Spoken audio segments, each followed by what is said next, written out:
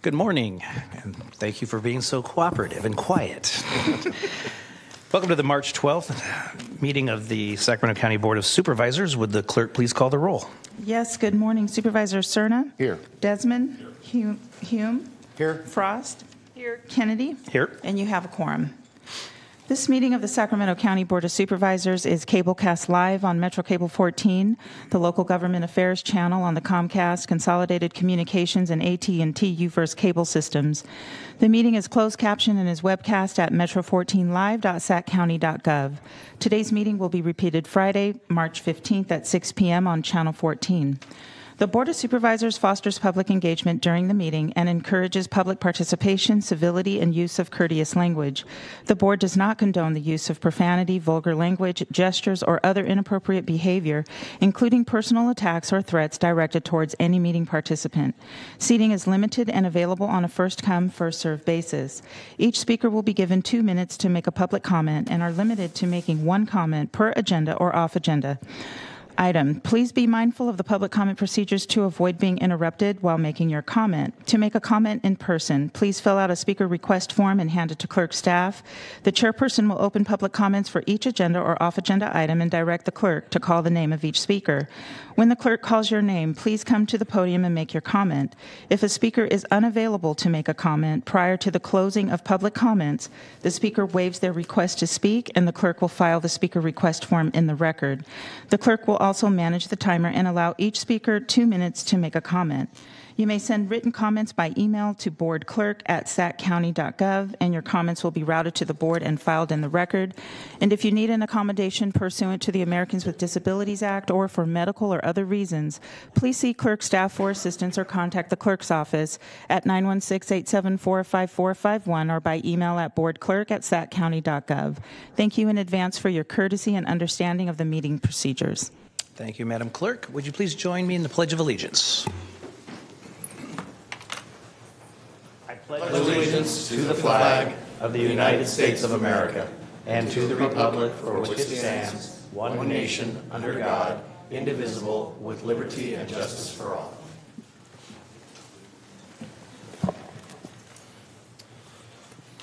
All right, Madam Clerk, please call the first item. Uh, For your first item, these are off-agenda comments, and it looks like we have two speakers, and I will bring up their names. Our first speaker is Kai.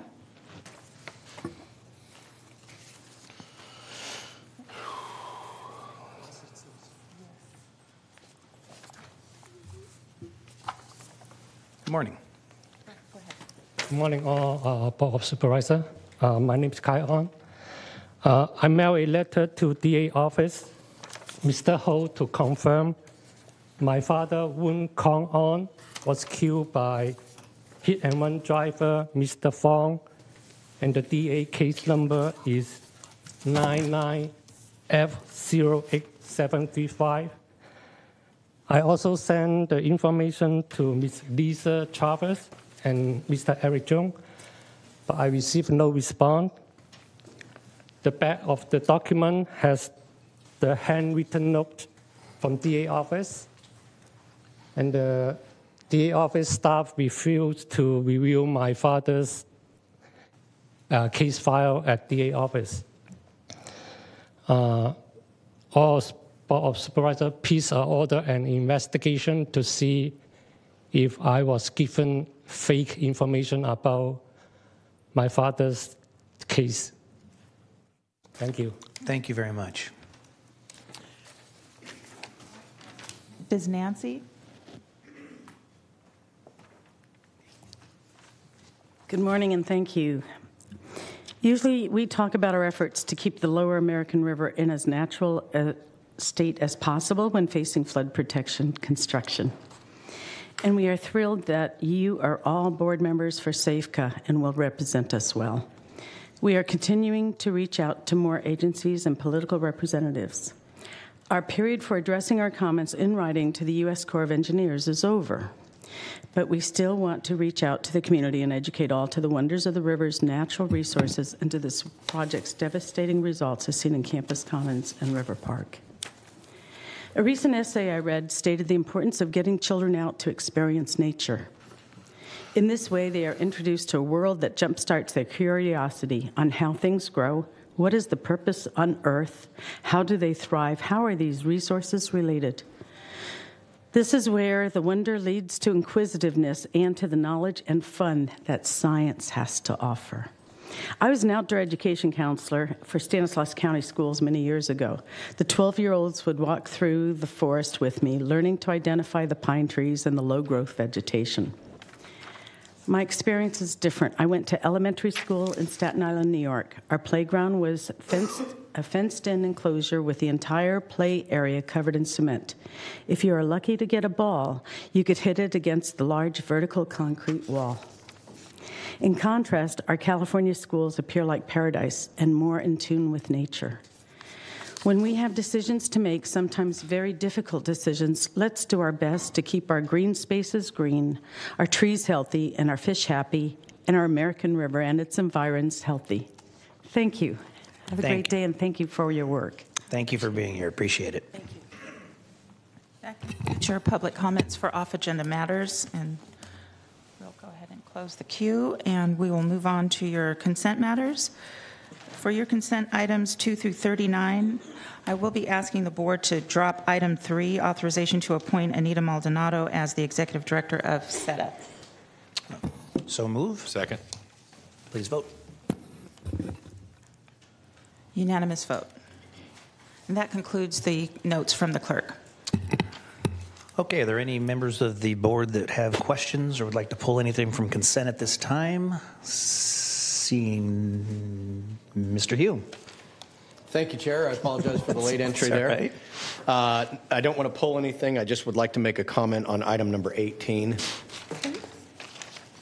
Item 18 is to authorize the Director of Transportation to execute the public highway at-grade crossing agreement.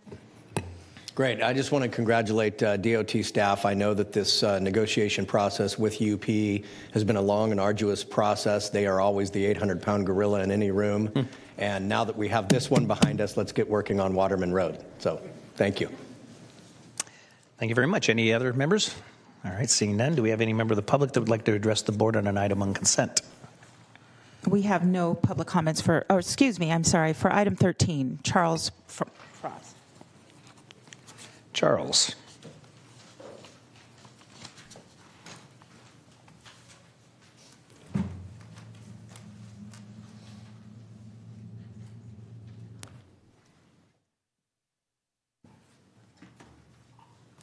Good morning. Morning. I was reviewing the Watt Avenue, uh, which I think is 13, the safe stay thing. I just had a couple, couple comments. Um, which, which The, item is um, this, Charles? Charles, which item is this? Uh, this is the Watt Avenue safe stay Oh, thing, okay. right? That's 13. I may have written 13. I may have meant 12. I may have made a mistake there. Yeah, it's still 12. consent. Okay. Okay, I sorry was, about wa- it was really odd to see you commenting on item 13, frankly. I don't even know what it is. Sorry. Okay. Um, I'm actually pretty excited about this. I think that it's the move in the right direction. I think this is probably going to be the best county operated shelter. Um, I wish it was larger, obviously, but this a lot of what is going to work is going to be put here. I think you'll actually see a lot of exits from homelessness out of this shelter. A couple of the things that I saw that I think should be addressed is the first aid kits should have Narcan in them, as well as the defibrillators and other first aid type stuff. The no or very limited food in the neighborhoods, I think, is something that could be addressed. I think that's been a mistake at some of the other shelters, is not allowing people to have their own food. I've heard a lot of issues based around that. And then um, I think this is probably something that's addressed in here, but I couldn't find is some of the HVAC components of the actual building. I think are going to be an issue for you guys long term. But um, anyway, that's all I really had. I think this is actually going to be pretty successful. Thank you. Appreciate the comments, Charles. That concludes your public comments for consent matters. Okay, is there a motion? Please vote. Unanimous vote. Okay, item 40 is the presentation of service award recognizing Angel Soltero for 30 years of service with Sacramento County.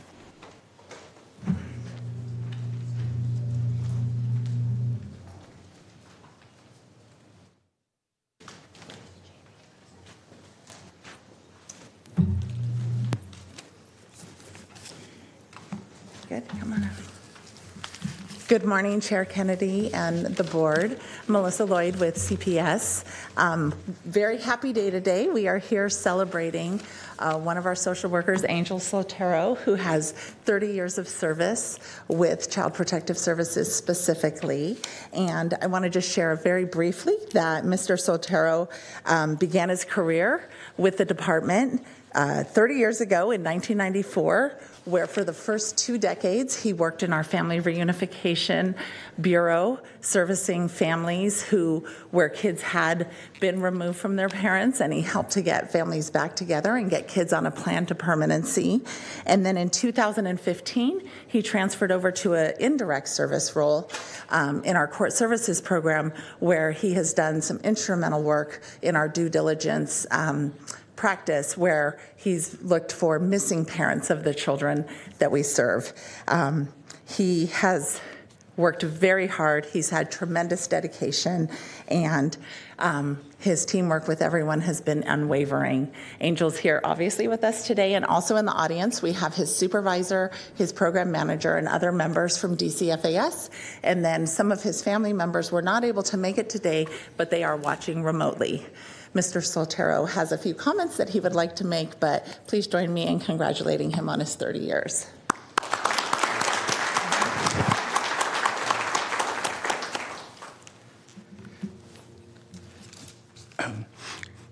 Hello, everyone. It is nice, and I am deeply honored to be here with you in this beautiful building. I also love the other great building across the street the one that lights up the colorful purple beam into our evening sky and possibly into space and or heaven when your Sacramento Kings team feels good and things are going well and they win their games. The beam makes me feel connected to the community. I can recall the first few years, I did not know if I would continue to work. Further, after hearing a coworker who voiced concerns of high caseloads and low morale, he eventually left. However, I am still here standing. On another occasion, at a delinquency hearing, due to interpreters being short staffed, I was asked if I spoke Spanish and if I would kindly translate. Next, I was sworn in and translated. Words of encouragement for coworkers to employees who came before me. I admire and look up to you. For current employees, some of you are right behind me. Keep up the great work. When COVID was here, just know I consider you all first responders, regardless of your title. For beginning employees, it's great to work here. Your, your day will never be the same. Join your union.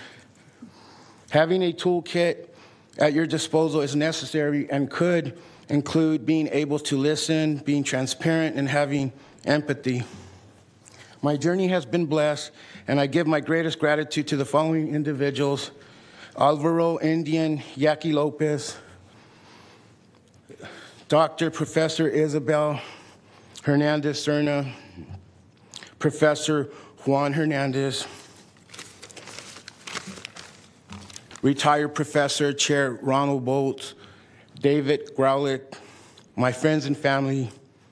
A thank you to Micah, PJ Davis, and all staff at Dixon Family Services. I thank uh, our red team, United Public Employees, Local 1, including but not limited to Executive Director Ted Samara. Where are you, Ted? There. Uh, uh, Agent John Bonilla. And all UPE staff for their work. In numbers, there is strength.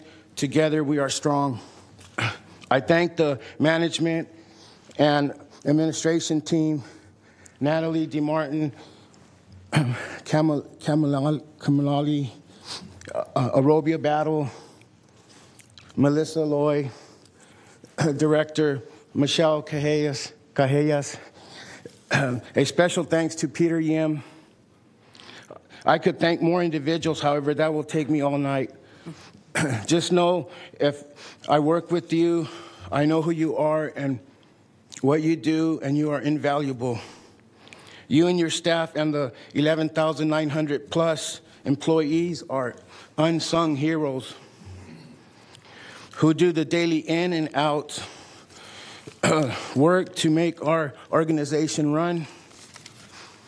Last, I thank the individuals who come in their most vulnerable times. They allow me to do my job and support the community.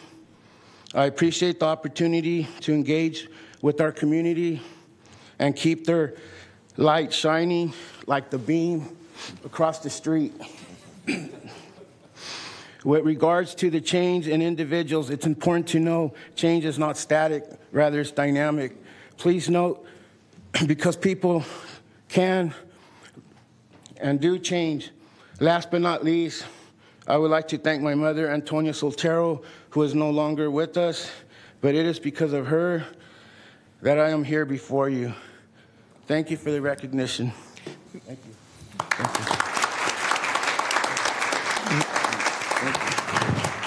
you. Mis- Mr. Soltero?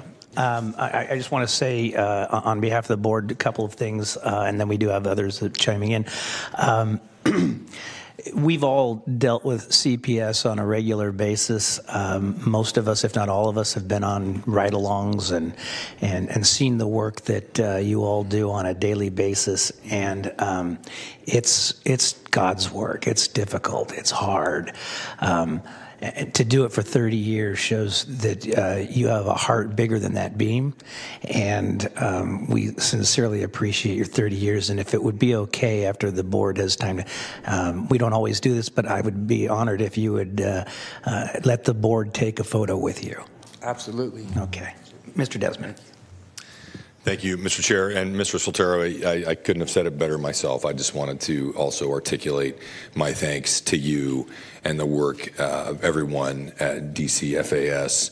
You do the most difficult work in the county, the most important work in the county that I imagine is can be filled with heartache, but also moments of absolute joy when you see a success uh, success with a family or a child that you serve. So, thank you. I, I have a daughter right now who's finishing up her master's in social work, and I've told her so many times how much I've been inspired um, by the work of our, our county social workers. And uh, I just wish you all the best in your retirement, and thank you for your service to Sacramento County. You're welcome. All right.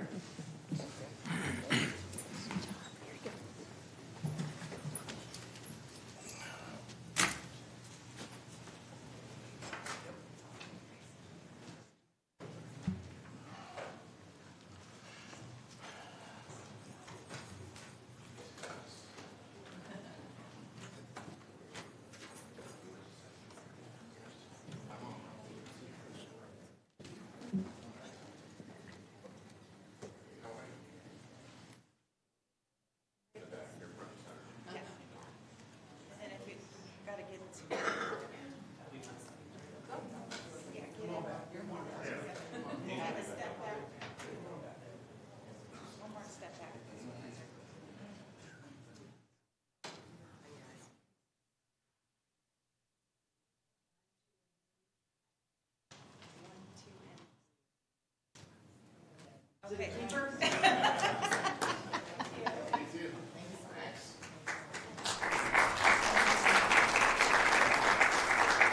is the most precious speech ever. so precious. So beautiful. Okay. All right. Thank you. Next item, please. Okay, item 41 is the presentation of resolution recognizing March 8th, 2024 as International Women's Day and March 2024 as Women's History Month.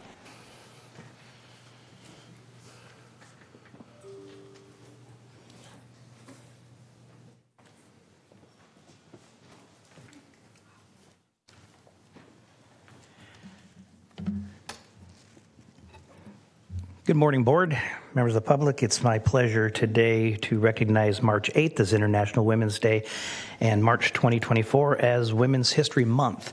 Uh, there's no better time to do that than when in the presence of our members of the Sacramento County Commission on the Status of Women and Girls, which is dedicated to helping inspire inclusion for the more than 800,000 women.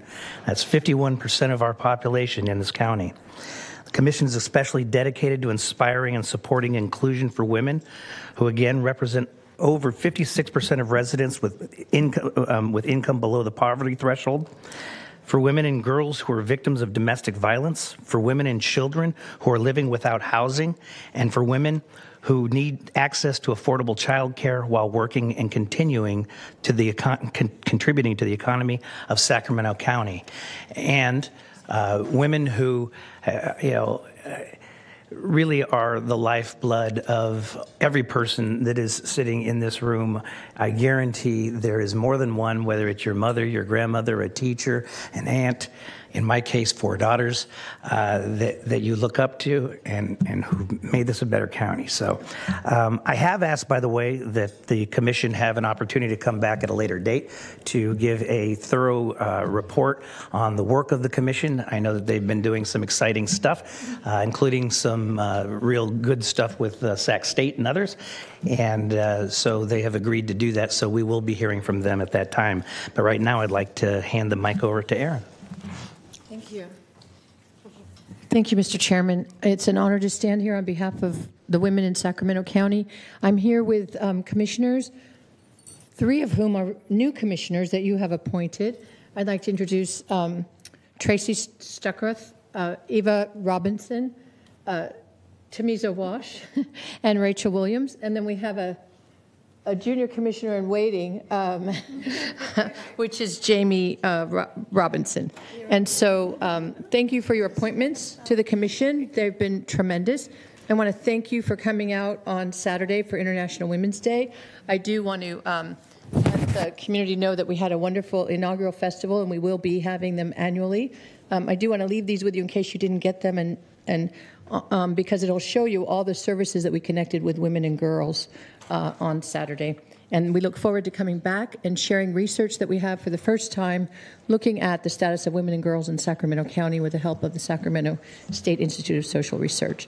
So thank you for your support for women and girls. We will be um, looking at the budget this year with you and hopefully doing some advising. So uh, stay tuned. Thank you.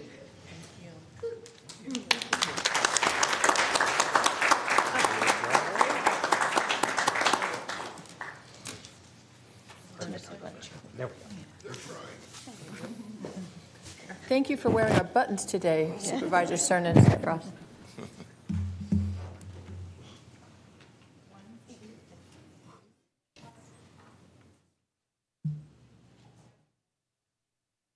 Thank you. Thank you. Can I just say one thing? I also want to thank Michelle Callejas and her staff. Um, they've done extraordinary um, work of support and supported our festival as well as our everyday work. And I really want to shout out to their work every day, but also with the commission. Thank you.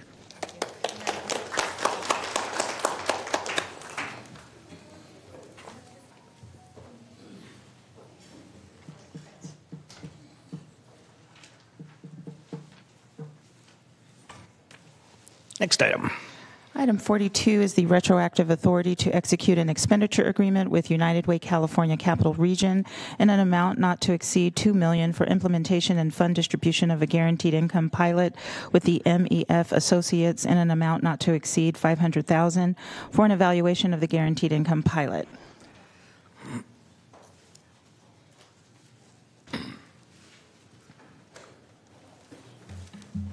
Good morning, Chair Kennedy and board members. Oh, it scared me. Thank you. um, so, uh, Michelle Callejas, I'm a director of child, family, and adult services. Um, and as uh, our clerk explained, we're here to request retroactive authority to enter into two contracts that would allow us to implement a guaranteed income program pilot. Our contract, one contract is with United Way California Capital Region to provide implementation and fund distribution services. And the second is with MEF Associates for completion of the evaluation component. The pilot is one of several strategies within our county's Family First Comprehensive Prevention Plan, which I'll explain briefly. But before I get started, I just want to acknowledge my team who did so much work researching various uh, guaranteed income programs, gathering data, doing literature reviews, learning about benefits protection, and consulting with experts across the country and here in California. I had no idea how complex guaranteed income programs could be. So thank you, Christy Bombach, Karen Parker, and of course, Melissa Lloyd for all their supports. I'd also like to thank United Way and MEF for working so closely with us to get us to where we are today. Um, to ensure strong implementation should this board approve this recommendation. And uh, MEF came from Oakland and Denver to be here today to show support, so thank you. So, here we go. So, what is Family First? So, in March of 2021, the California Department of Social Services issued the Family First Prevention Services Block Grant. And it is an opt in county, it's an opt in program for counties. And in order to access the funding, child welfare and probation had to establish a collaborative comprehensive prevention plan. So we worked with our Sacramento County Probation Department as well as our behavioral health partners to put together our comprehensive prevention plan. The prevention plan had to be developed with community input and had to include prevention services that support the ability of parents and families to provide safe, to provide safe, stable, and nurturing environments for their children. Additionally, interventions had to be culturally responsive and appropriate and tailored to meet the needs of families who are disproportionately represented in the child welfare system, including Native American and Alaskan Native families, families of color, and LGBTQ plus children and youth. Our strategy today that we are uh, speaking about, as well as our broader strategies, are focused on promoting child and family well being and decreasing disparities for Black and Native American children between the ages of zero and five, as those two groups are most disproportionately impacted by child welfare in our county. We submitted our proposed uh, plan to CDSS in April of 2023. We were the first county to submit and the first county to receive approval. So these next few slides, I'm going to provide some data that will uh, support how we came to our population of focus. And so what we have here, these are uh, data just specific to children zero to five. That is our target population. And this first column here shows the breakdown of all children children in Sacramento County between the ages of birth and five. So you can see of all kids in this age group, 43.9 are white, 6 tenths percent are Native American, 29.2% Latino, 11.2% Black, and 15.2% Asian Pacific Islander. The subsequent uh, columns that you see are different decision points within the child welfare system at the front end. So allegations, those are all calls to our hotline. Then evaluate out if the hot if the calls don't have enough information to warrant an in-person response, we evaluate it out. Then it goes on to investigations, substantiated investigations, cases that are opened with court oversight, without, and then child removal.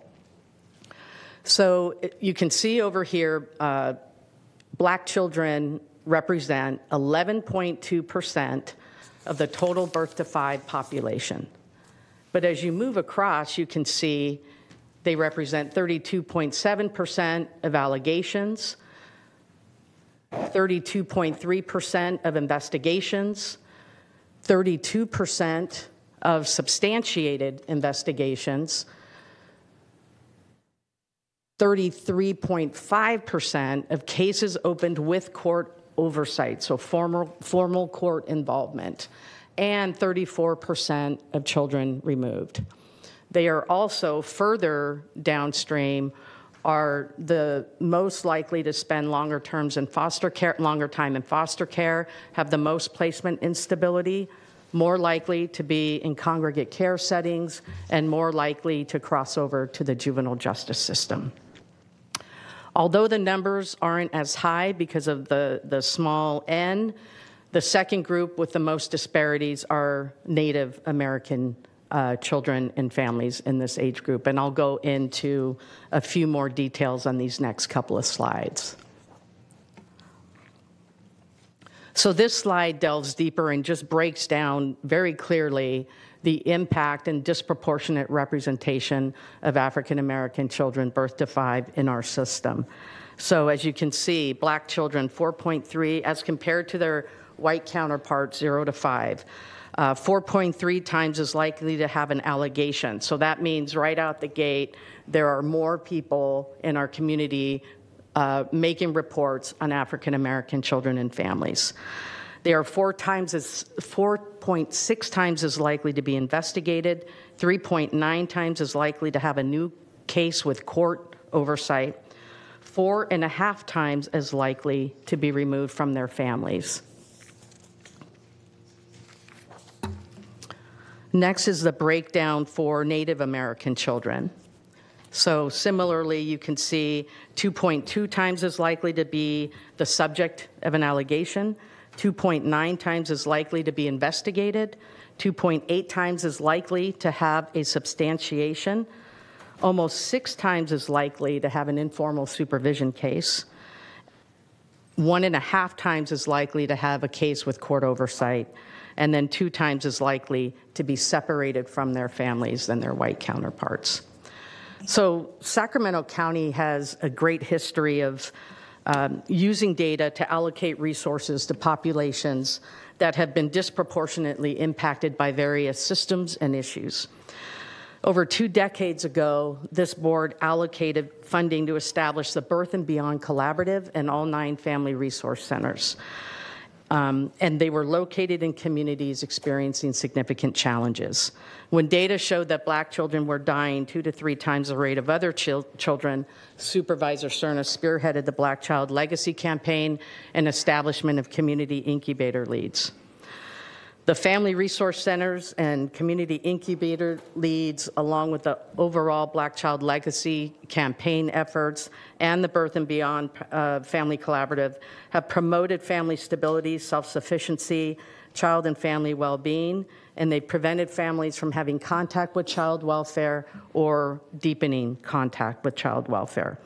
This guaranteed income proposal, along with the rest of our prevention plan, has those same goals.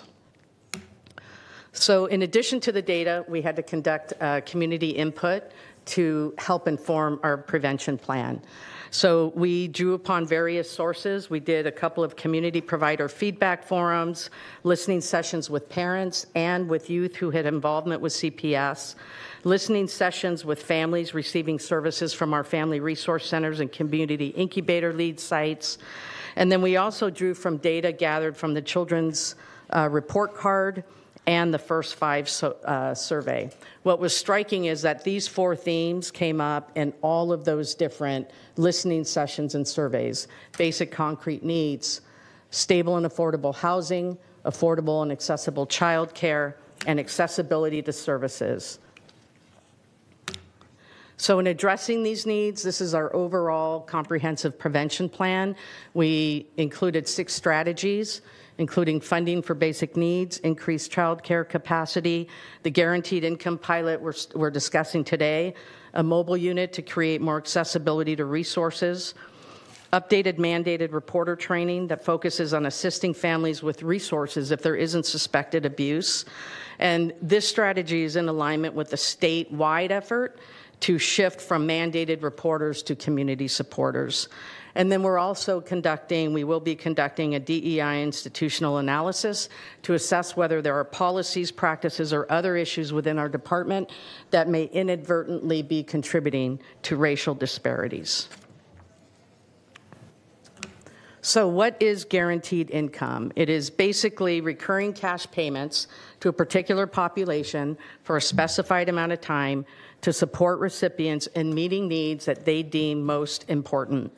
They often target members who are most impacted by disparities. In this case, African American and Native American children 0 to 5 and their families are most disproportionately impacted by the child welfare system, and we are proposing that our pilot focus on both populations. this pilot creates the opportunity to promote family stability, child and family well being, and reduce contact with child welfare services. I, I, love this quote because it gives it a little more uh, real taste. One mother in the Magnolia Mothers Trust Fund used her first guaranteed income payment to re enroll in phlebotomy classes, which she had stopped for years after being unable to pay tuition. She has since graduated from her phlebotomy program and transitioned to work as a phlebotomist, allowing her to earn higher wages to support herself and her family. So again, we just showed the data that reflect the disproportionate representation of African American and Native children in our, in our system. We delved further in the data to see what areas in our community are most impacted by our agency. And so we identified the top zip codes of family, with families zero to five, African American families zero to five, that have the most contact with our system.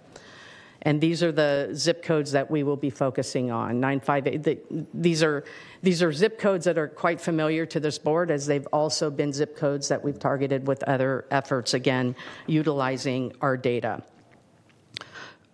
For Native American kids, zero to five, we looked at those connected to Wilton Rancheria, which is our only uh, federally recognized tribe lo- locally, as well as those receiving tribal TANF.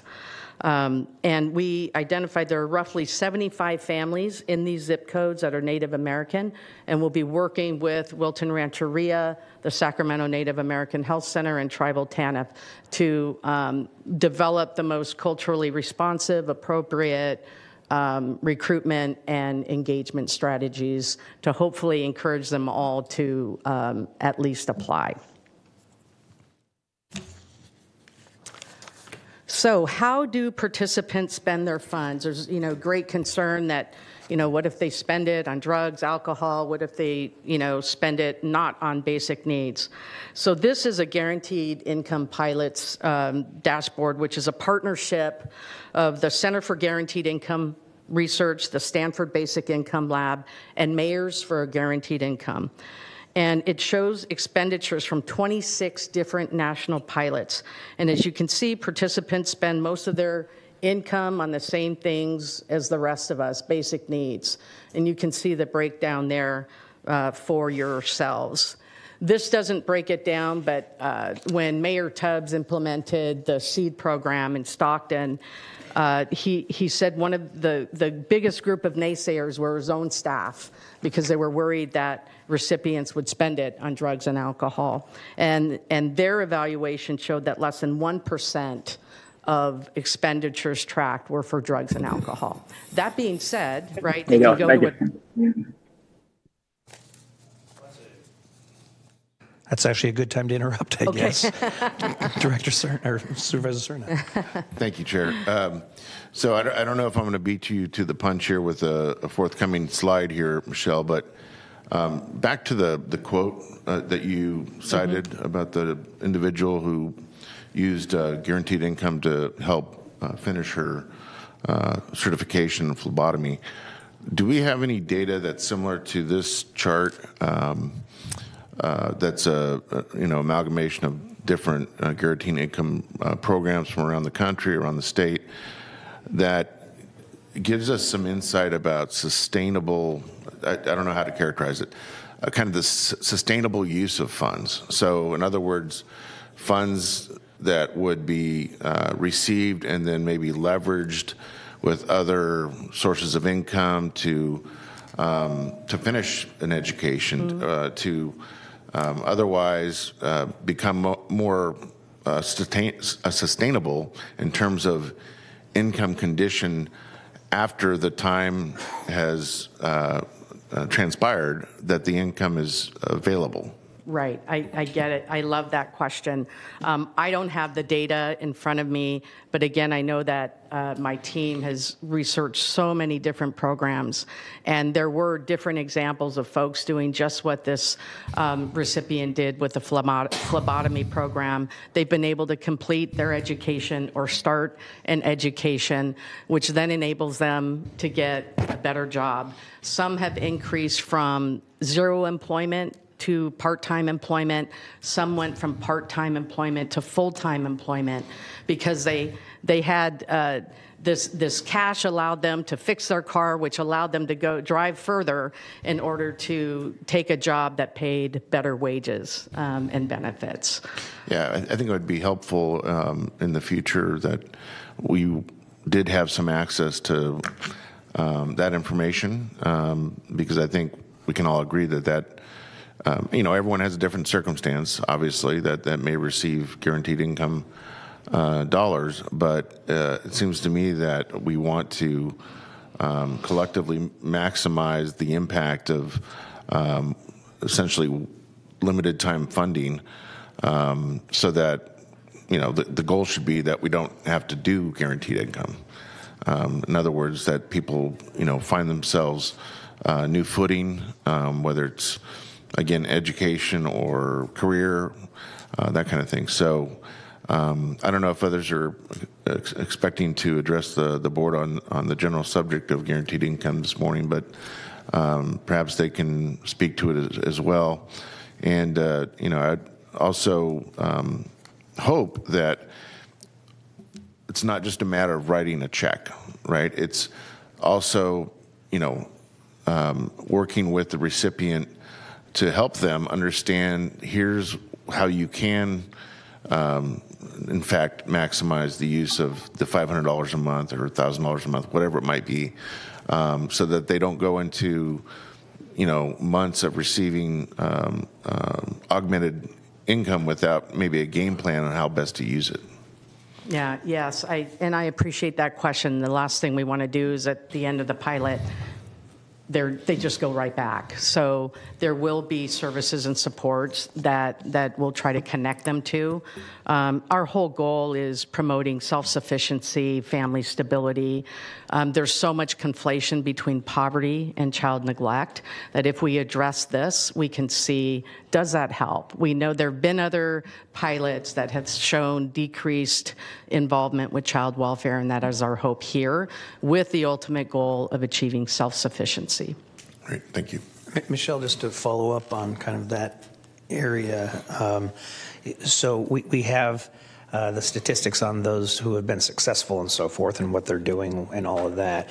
For, for those who, I don't know how to put this, for those who, who maybe didn't uh, utilize the income in ways that we had envisioned or hoped, um, uh, do we look into that to, to identify, you know, why uh, how maybe you know there could be interventions uh, you know to to to, to remedy that um, for that individual and the family.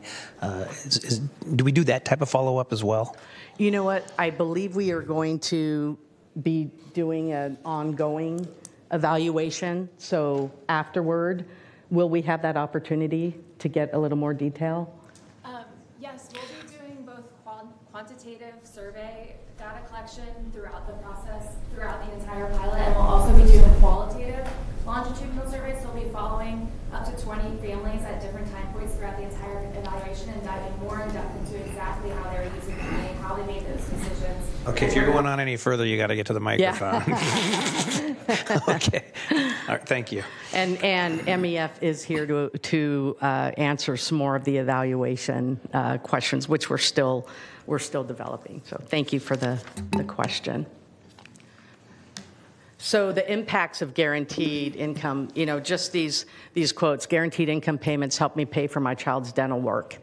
Uh, the next one with receiving the guaranteed income, it took a lot of stress off trying to find different organizations to assist with certain things. I was able to pay bills. That left me more time to work with, look for a job that would work with my schedule, which is how I ended up coming across my current job. So these are some of the outcomes. This increased ability to meet basic needs, improved mental health, physical health, and overall well-being, increased employment, income security, housing stability, increased enrichment, and parent-child bonding. And then improved educational outcomes and child development, which is so critical for our littles. Um, and, and this paired with all the first five funded services we have available in our county could really help uh, lead us to some uh, great outcomes for this pilot. So who's eligible? Uh, he, he, these are the these are the eligibility requirements. So parents and legal guardians of African American and Native American children birth to five, they must live in the zip codes we previously discussed. They must live with their parent or legal guardian. Uh, the family residing full time in one of the identified zip codes. If unhoused, they could be previously there, and of course, we would work to connect them the resources to get them housed. Um, the family income um, under 200% federal poverty level. So, uh, for example, if it was a family of four, two parents, two kids, they must have an annual income of less than 62,400.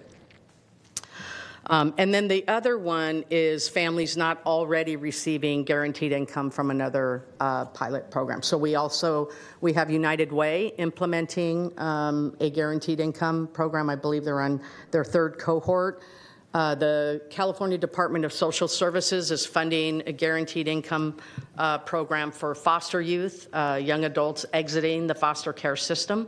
Um, and so some of our youth are benefiting from that. So they can't be receiving another uh, guaranteed income. Supervisor Serna. Thank you. Um, it just occurred to me, Michelle, um, why why are uh, we looking at this from the standpoint of zip code? Um, the reason I ask is maybe that I don't know if, if that's a, some kind of federal requirement, but it seems to me that um, th- there's more to be, uh, I, I think, gleaned from the socioeconomic information that comes from census block than it does zip codes, which is a postal artifact, right? So, uh, is there any is there any specialness to zip codes versus other means to uh, identify the geography involved? It, it's simply related to the administrative data we're able to pull from our child welfare system, uh, the uh, information system, the CWS CMS. Um, and so tracking by zip code, we went to the six where, the, where there was the most contact with African American families zero to five. Um, I most fall within particular census tracts, but I hear your your point that some may fall out of it I mean, into a different hypothetically, you could have much more intense poverty in a sense in a census tract Than and a in zip zip code codes. outside of a zip code uh, where you have identified maybe broader Mm-hmm. uh, poverty or other you know metrics. Um, so I just kind of question that, but it sounds to me like it, it's a matter of fitting a square peg into a square hole. Yeah, the challenge. Um, but it's certainly something we can explore uh, with the hopes this one is so successful, we're able to find funding for another one. Uh, because it, it, it's a question that comes up frequently when we're looking at zip codes. Uh, and, and neighborhoods have cross census, uh, census tracts as well. Right. Thank you. So uh, the next slide is recruitment, participation, enrollment. So it'll be an online application, and we will be providing in-person assistance to help them uh, with the application. It does include a baseline survey, and that baseline survey will look at like demographics, economic stability, um, access to health care, their assets, education, and so forth. Subsequent participation in the research is voluntary. Um, however, MEF um, believes they can get good participation rates. They will be making ongoing efforts to engage with families to explain the process, answer questions, and encourage participation in follow up surveys. Um, additionally, we'll be providing incentives for each survey complete, completed. And then, if they complete all of them, there is an extra incentive at the end. Um, in-person interviews will be completed, and then we'll have a certain number of participants involved in collaborative filmmaking, um, and we would pay incentives to those recipients as well.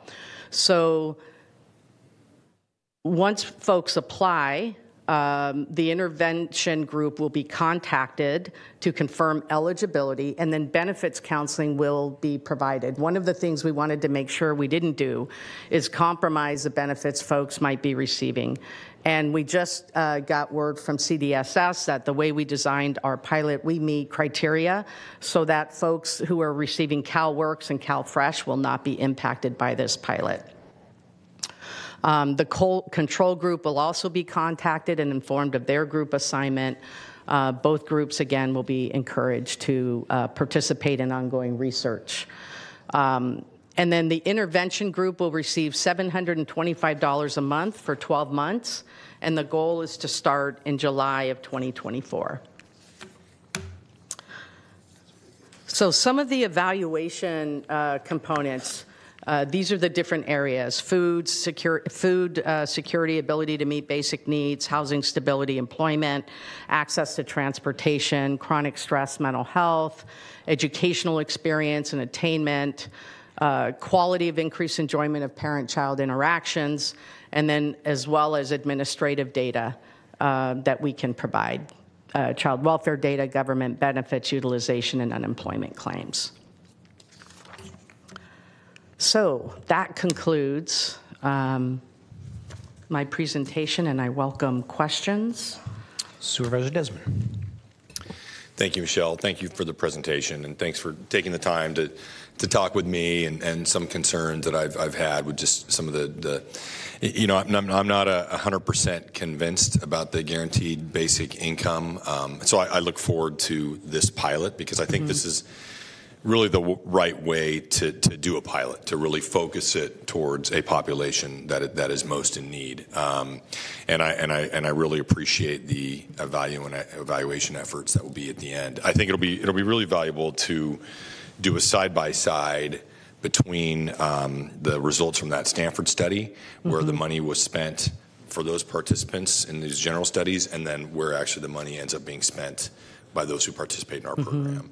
Um, I'll be very, very uh, interested in seeing that. And, and to, to piggyback on Supervisor Serna's comments, most interested to see how this results in you know resiliency and self-sufficiency yeah. for these folks who are going to be helped by this. So I think I, I'm about policy that you know, results in, in tangible outcomes. We've seen those tangible outcomes from the Black Child Legacy campaign and the investments have definitely seen benefits to those communities. And, and your chart that you opened up with, I mean, that is just compelling yeah. that we need to be doing more to help these uh, uh, populations in particular. So um, we'll really look forward to see how this goes, um, that it w- will be a success and, and, really will be helping people and uh, appreciate you being here today to present.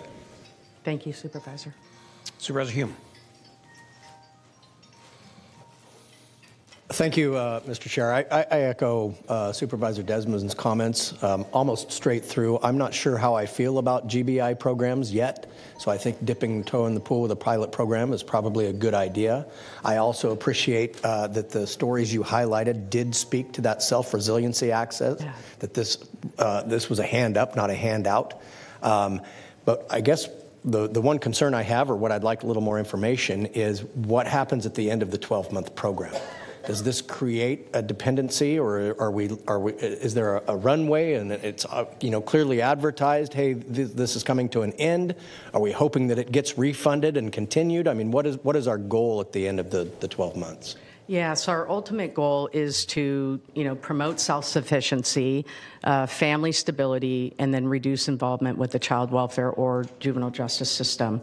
Um, the the the participants will be informed and reminded along the way, like there's six more months, there's three more months, right? And during this time, we'll also be uh, connecting them to services and supports to try to promote that longer-term self-sufficiency and sustainability. Um, you know, there may be some folks we'll see um, that that weren't able to get to something that allowed them to. Um, and we'll certainly be evaluating that as part of the overall evaluation. But um, other studies have showed the majority are able to continue. And then there's ongoing um, pilot or programs right now. I think the the mayors and counties for guaranteed income they're tracking as of December 23rd like 151 pilots taking place nationally. So I think over the years, and we'll be able to contribute if this is approved. Um, there's be there'll be more and more evaluation data with longer term to see where are they in a year, five years, um, and so forth. And so, if I can just make sure I heard you correctly, our goal at the end of the 12 months is hopefully to obviously have good outcomes in Yeah. that period, but also do some sort of engagement or warm handoff into another program, but not necessarily to continue funding this program. It's we will take a break and evaluate our data and, and see. Yeah, we are definitely slated to end at 12 months. Um, you know, we're allocating 2 million for that that piece, and then our goal is connecting them to other resources in our community. Um, and then if this is successful, use our data to chase other funding. I won't be coming back to the board to ask for more funding, but um, you know, and hopefully in the in the end it results in policy changes.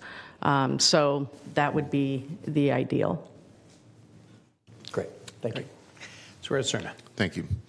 Um, uh, one question that I admit I should have probably asked during our briefings uh, was, or is, um, if a if a recipient, potential recipient uh, for um, guaranteed income is currently on general assistance or receiving SNAP benefits, um, is there any uh, assessment of whether or not the amount of guaranteed income combined with whatever you know other source of income they may may have um, would make them ineligible and then um, have that affect how they spend the the money Yeah, great question. It will not affect CalFresh, CalWorks, and we will be doing benefits counseling during the enrollment process and determining eligibility. So if they want to come in, we do benefits counseling. We'll be having somebody do that specifically.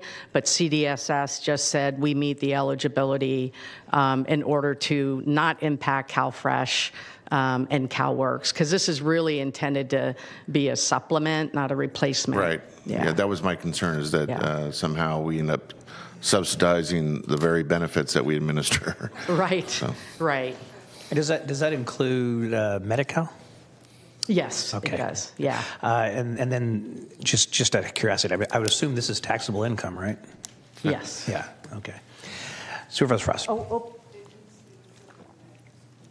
Oh, it's a government exclusion for taxable income. Sorry. Oh, okay. Oh, we got a thumbs up from Supervisor Hume on the way out. Okay. Great. Thank you. Hi, uh, Hi, Michelle. I want to thank you and your team for the in-depth briefing that you gave me on this. I, I want to say, I'll say to everyone what I said to you, which is when I first heard the word guaranteed income, my little conservative red flags started to go up, and I was like, okay. Uh, but uh, in looking at this, um, first of all, I wanted to clarify because my understanding is this is state funded. This is a state funded program. Correct. So this doesn't come out of the county's budget for stuff that we're already doing. Um, and I wanted to ask you: Are the people that are are being interviewed for this program? Uh, is this um, specifically targeting uh, to reduce uh, the involvement with child wel- welfare and juvenile justice, or would you consider these families to be on the edge of homelessness? Um, and are you? Is there a, a strong interview process? Because it seems like there's just such it's such an opportunity. It's like a scholarship program, uh, and not very many oppor- not not very many people can qualify. Um, Yeah. So, and many people could want to jump on board, but may not take it seriously and really use it as a leg up. So, I'm just curious to know if you can describe the qualifying process around it. Yeah, so there will be an extensive interview process, and I can certainly um, MEF if if they can provide more details. But to to one of the questions in there, um, yes, we want to decrease involvement. of African American and Native children living in the, these zip codes with our system.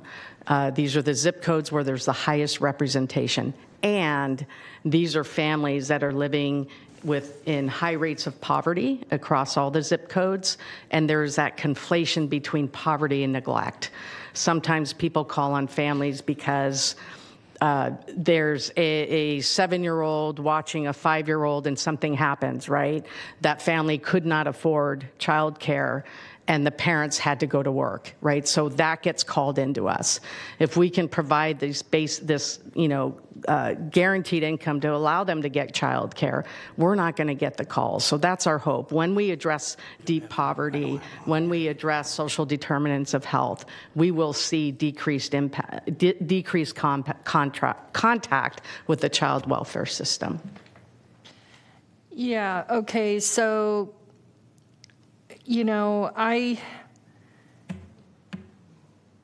I realize, you know, we've we've been down so many roads. You know, we we spend so much money, uh, and we, you know, one of the questions was, is this a proper use of taxpayer dollars? But at the end of the day, we're already spending millions of dollars cleaning up our parkway, drug rehab, mental health, homelessness, homeless shelters, capital improvement for homeless shelters, wraparound services for people who have already fallen into a situation where it's not that easy to climb out. Um, you know, it's just not. Yeah. And um, and this is one of the things that crossed my mind when we were early on in COVID and we were talking about, uh, you know, a moratorium on evictions. And I was saying, you know, why don't you, instead of saying they don't have to pay their rent, give them rent because you're disrupting the economics of the economics of this. There are landlords who actually rely on that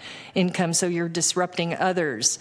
And so the idea of you know potentially finding a way to give um, you know i think the name guaranteed income is not a proper name for this program personally. I think it's way more than that. It's uh, it's it's like uh, income but it's also services. And as you uh, told me in my briefing it's like uh, there's going to be training budget training and there's going to be all kinds of um, education and Yeah. services and support so that hopefully at the end of that year of that extra income they're ready they've taken it really taken planned it out and taken advantage of it um, i'm going to support it uh, because i think if you know we uh, we've we have a lot of criticism that we're not fixing this problem that we have, and it just keeps getting worse. And I'm, you know, my hope is that um, this will be a bridge. You know, G- God gives us grace every day. um, and maybe this is grace. Um, so, uh, I just, I, I want to, uh, you know, I'm, I'm a little bit nervous about the word guaranteed income because how do you decide who gets it and wh- what's fair about that? This is a pilot program. Uh, and uh, it's way more than that word, th- that concept. That name is not right, but but I am going to support the pilot because I think um, I'm hoping it'll bring good things to some families. I appreciate that. And it's the Family First Economic Stability Program. Family First Economic Support Program will be the official name. Oh, did they change it since the other well, day? Well, it's a guaranteed income pilot, but we were, we are calling this one locally the Family First Economic Oh. Support Program. Um, That's the- better. All, all this has Thank to you. be, all our materials have to be submitted far ahead of time. So we have late uh, developments often. Yeah, this the- is just kind of like uh, one different angle to a huge dilemma. Yes, That's going to take us probably a couple decades or more to climb out of. So, Yeah, for sure. And you know, there are so so many complex issues. One single strategy isn't going to address them all. Um, so I appreciate the comment. We are spending a lot of money, and when you see that 50% of, of foster youth exit into homelessness. uh, Like, Yeah. keep them out of foster care in the first place. Right. Strengthen families, invest in families up front. Okay, that's all I see from the board. Is there any member of the public that'd like to address the board? We do, we have three public comments. Thank you. Our first public comment is Steve Wirtz.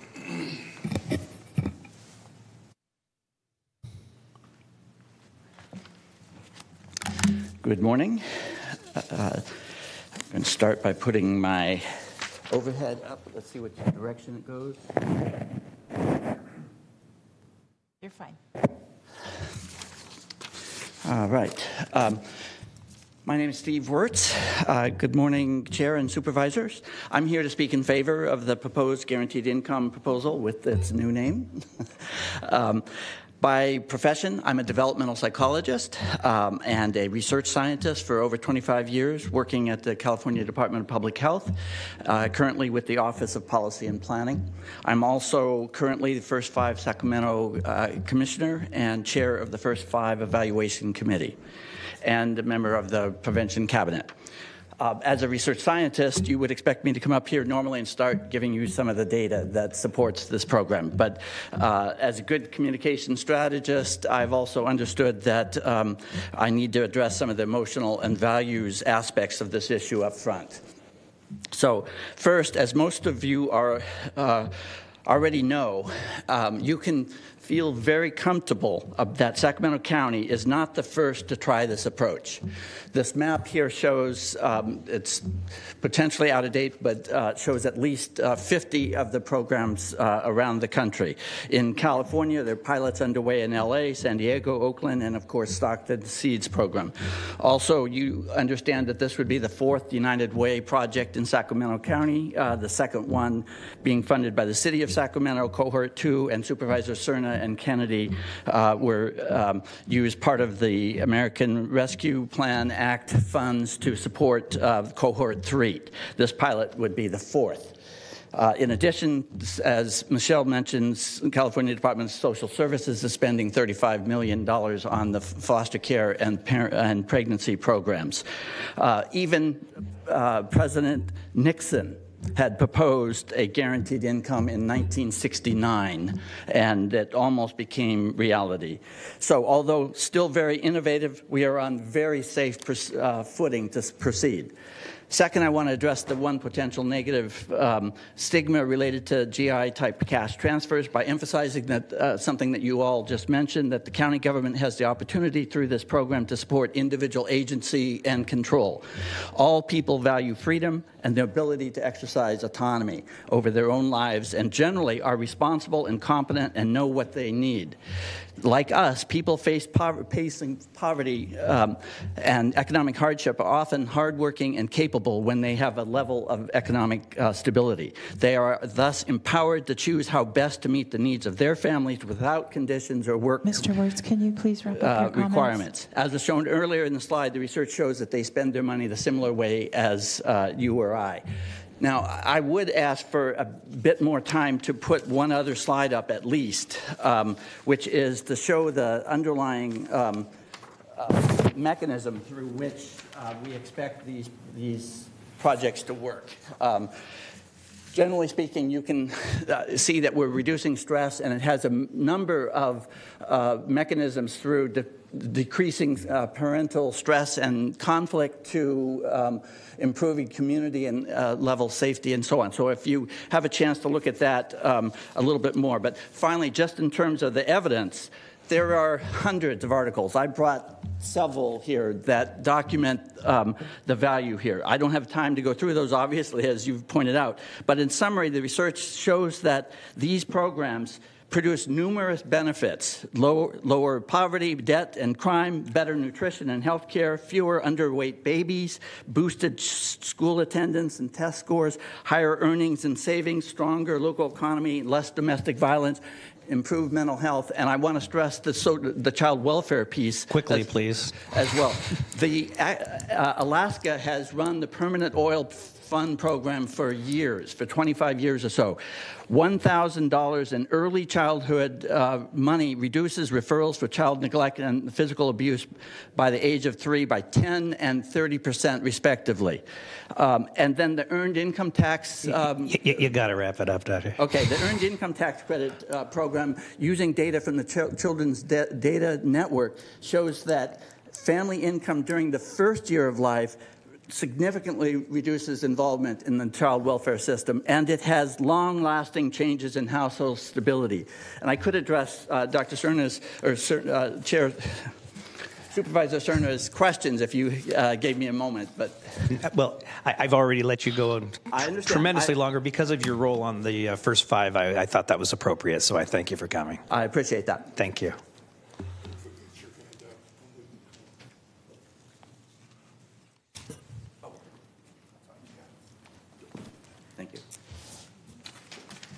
Day, Board of Supervisors. My name is Adria Okoro from United Way, California Capital Region. First, wanted to thank you all for taking meetings with us these past couple of weeks. And for those who we haven't met yet, yeah, you're, you're next in line. So we're reaching out to you and your staff. And so wanted to thank you for your investment of guaranteed income. Just wanted to briefly um, share with you all our data brief from um, our third cohort of guaranteed income and wanted to make that available to you all. And just to help to make the nexus between guaranteed income and preventing homelessness and unsheltered homelessness within our communities. A University of Southern California study found that in just six months, they were able to drastically reduce unsheltered homelessness by 15%. And so it's a very um, quick, reasonable fix to support our communities. Thank you. Thank you.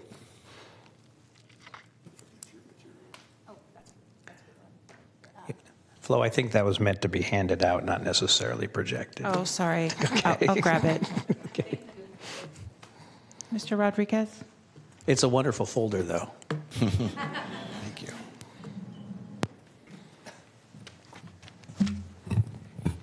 Hi, I'm Davi Rodriguez, um, and uh, I'd like to say this is a definitely a lofty goal, even have a noble purpose. However, I would direct you to um, Article 17, Section 3 of the state's constitution, which states, "No money shall ever be appropriated or drawn from the state treasury for the purpose or benefit of any corporation, association, asylum, hospital, or any other institution not under the exclusive management and control of the state as an institution." It goes on to list what the exceptions are to that rule, and it's basically um, for the support of minor orphans, half orphans, abandoned children, children of a father who is incapacitated by permanent physical injury, suffering from tuberculosis, needy blind persons, etc. It doesn't list that.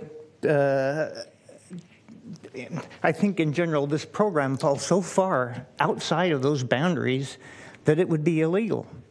And um, like I said, it's a noble purpose, but this, our state constitution is a restriction on this body and the state legislature. Uh, this section of the Constitution has been in there for a long, long time. I believe that people have lost faith in the welfare system, but the problem lies there. We should address that, not try and go off on our own and try and fix this uh, with some program that is outside the boundaries of that controlling document. I urge you to first research that section of the Constitution before we drift off and, and, and break it. Thank you. Thank you, Mr. Rodriguez. Do we have any, any others, members of the public? No, Chairperson, that's it. Supervisor Serna. Uh, Thank you, Mr. Chair. Um, If there's no further public comment, sounds like there isn't, um, and no further discussion by the board, I'll like to move the item. Enthusiastic second. Unanimous vote.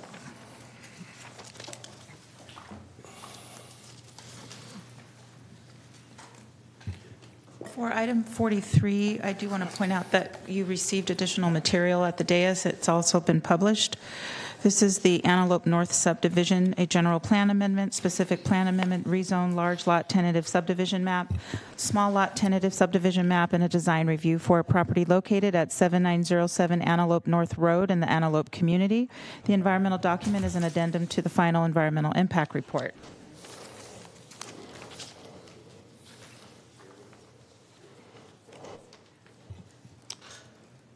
All right. Good morning, Chair Kennedy, members of the board. Emma Patton here to present the Antelope North subdivision project for you this morning. I also want to note that I'm joined today by the project manager, Emma Carrico, as well as staff from DOT, should you have any questions that are best answered by them. The project site is located at 7907 Antelope North Road. It's at the northwest corner of Antelope North Road and Poker Lane in the Antelope community. The site is currently vacant with a seasonal creek traveling north south along the western portion of the site. The site is located within the East Antelope Specific Plan in the Specific Plan Central Sub Area. The central sub area was planned to tran- transition from agricultural residential to urban residential land uses to promote the logical urban development throughout the specific plan sub areas. The subject property is currently zoned RD7, RD20, and open space, and is surrounded by agricultural residential to the north and west, light industrial to the east, and a mix of commercial, industrial, and some vacant property to the south.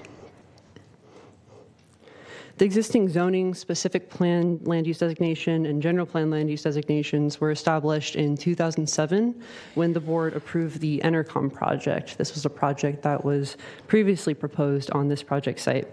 The project included a tentative map uh, to divide the property into, uh, including the RD20 portion, into 301 single family residential lots.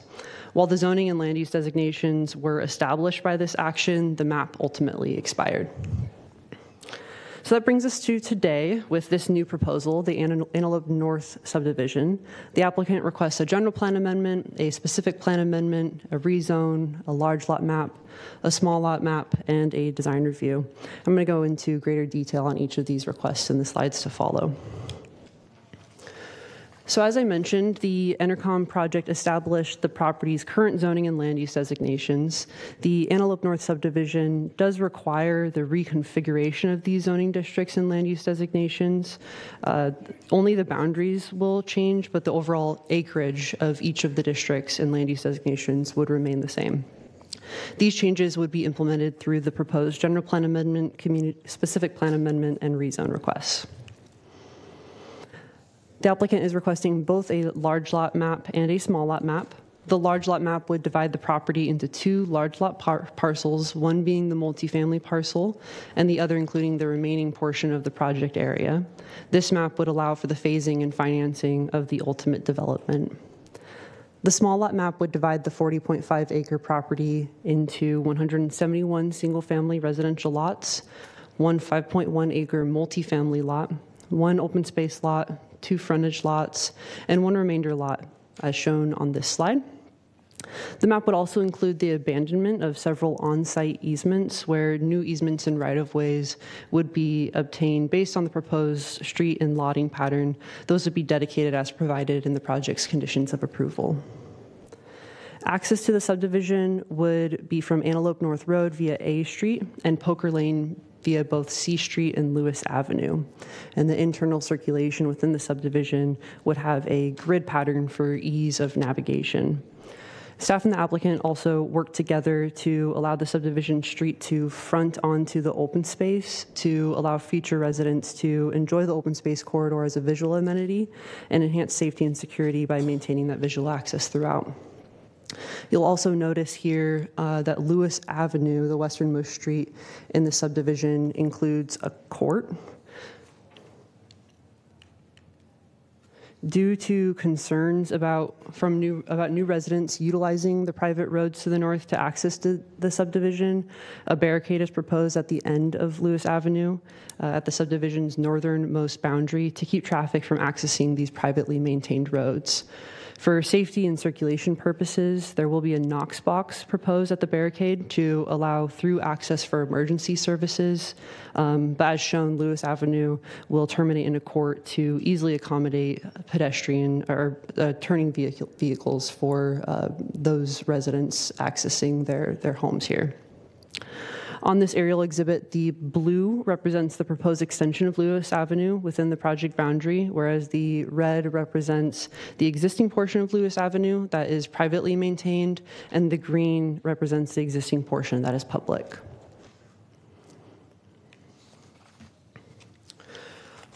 Also, on the topic of circulation, uh, the project would require the realignment of Antelope North Road. As currently built, Antelope North Road heads south from Placer County line uh, for approximately 0.9 miles, at which point it takes a start, sharp turn to the west, uh, requiring those traveling on Antelope North Road to quickly reduce their speed to navigate that turn. The East Antelope specific plan has identified the need for the Antelope North Road to be widened and realigned in order to accommodate the increased circulation um, as areas within the specific plan surrounding Antelope North Road develop.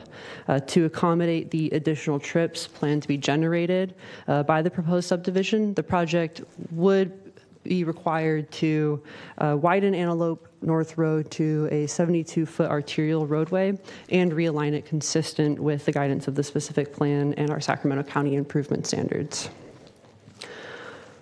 Also, on the topic of circulation changes, uh, I will note that there is an existing circulation break on Poker Lane. It's approximately 0.3 miles west of the project site. This relates to the document that was passed out to you moments ago. Uh, the circulation break on Poker Lane was put in place around 2001, along with the development of the East Antelope Woods subdivision, which is located at the southwest corner of the intersection of Cook Riolo Road and Poker Lane.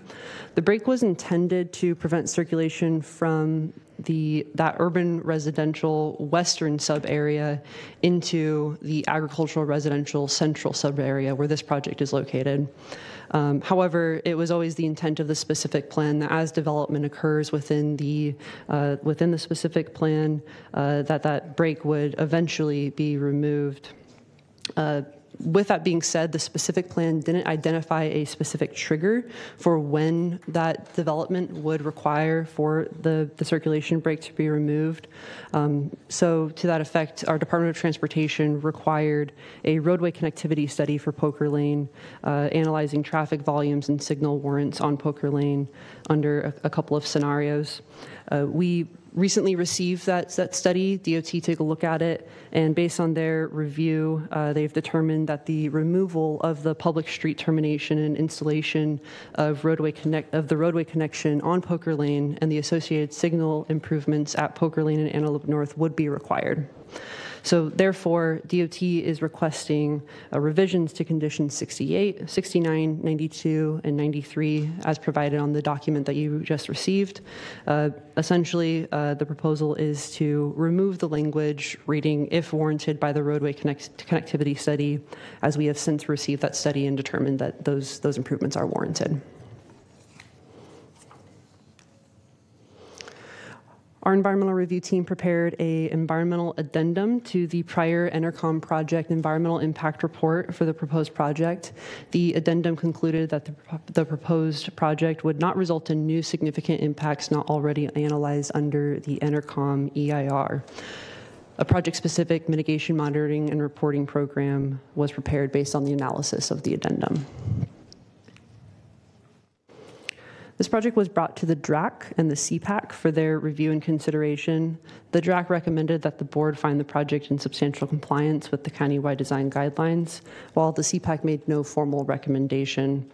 Uh, staff did bring this project to the CPAC twice, and in both instances, neighboring property owners voiced concerns related to traffic and drainage issues. Um, as noted, staff has worked with the applicant to address the traffic concerns as well as the drainage concerns through analysis and conditions of approval to confirm that the project would comply with the county's transportation and drainage requirements. The Planning Commission later considered this project on January 8th, 2024. Commissioners had a number of questions surrounding the vehicular circulation, including questions about the Lewis Avenue connections, as well as the rem- uh, potential removal of the circulation break at Poker Lane.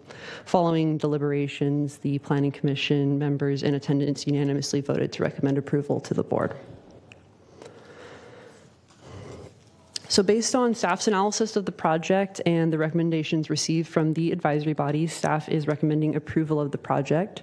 Specifically, staff recommends that you determine the previously certified Entercom final EIR together with the CEQA addendum is adequate and complete, that you adopt the mitigation monitoring and report, reporting program, approve the resolution to amend the general plan related to the land use designations, approve a resolution to amend the East Antelope specific plan related to the land use designations, adopt a rezone ordinance, approve the large lot tentative subdivision map, approve the small lot tentative subdivision map, including the abandonments of portions of on-site easements, and find the project in substantial compliance with the countywide design guidelines.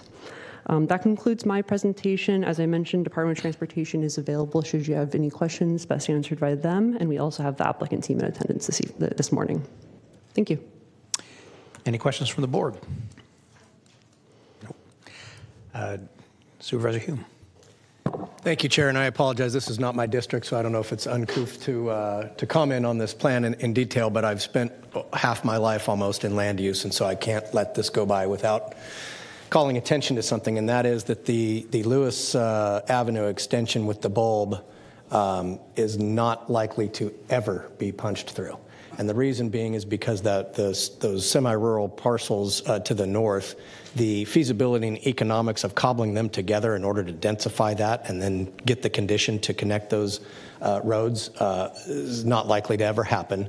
And if it were to ever to be proposed, those new 17 residents now living on what is, is has a cul-de-sac essentially are going to come out in force to, to oppose it. And, and so um, I just think this could have been put together, and I'm not laying at this at the feet at planning or at the applicant. It's just we can spit in one hand and wish in the other, and I can guarantee you which one's going to fill up first. And so in the reality, this plan would have been better to sort of recognize that that northern area is not going to densify in a way that would uh, tie into this plan. Move that bulb down to the drainage easement area, take that lot 17, and you get an extra lot there uh, going across. So I just say those things just to throw them out there. I don't know that we're going to do anything with it, but I think this plan as presented does not present a realistic future. Thank you. Anyone else? Seeing none. Uh, yeah. I, uh, well, first of all, is the applicant uh, going to make a presentation or?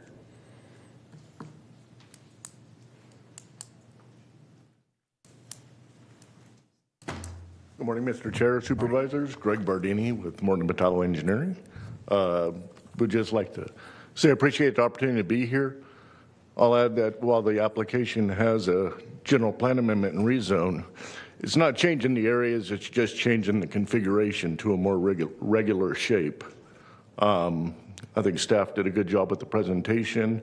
Uh, we respectfully ask that you follow the uh, recommendations of the Planning Commission and staff uh, and recommend approval. We've re reviewed the uh, conditions in agreement along with the amended conditions, uh, and we are available for any questions. Great. Thank you, sir. Seeing none from the board, do we have any public comment? We do not. Okay, then we'll bring it back to the board. Supervisor Frost. Uh, yes, I understand that it's a situation that is going to be controversial. I think it's already, uh, you know, a little bit controversial, although the CPAC was basically uh, undecided. I think it was a two to two vote.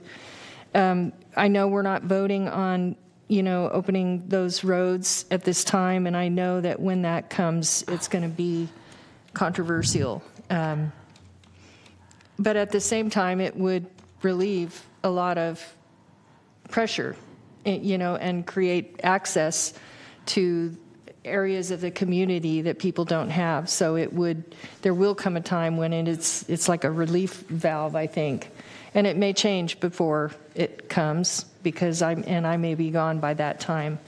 Um, but for what we're doing today, I'm going to go ahead and um, make a motion that we uh, approve, that we um, move the staff's recommendations.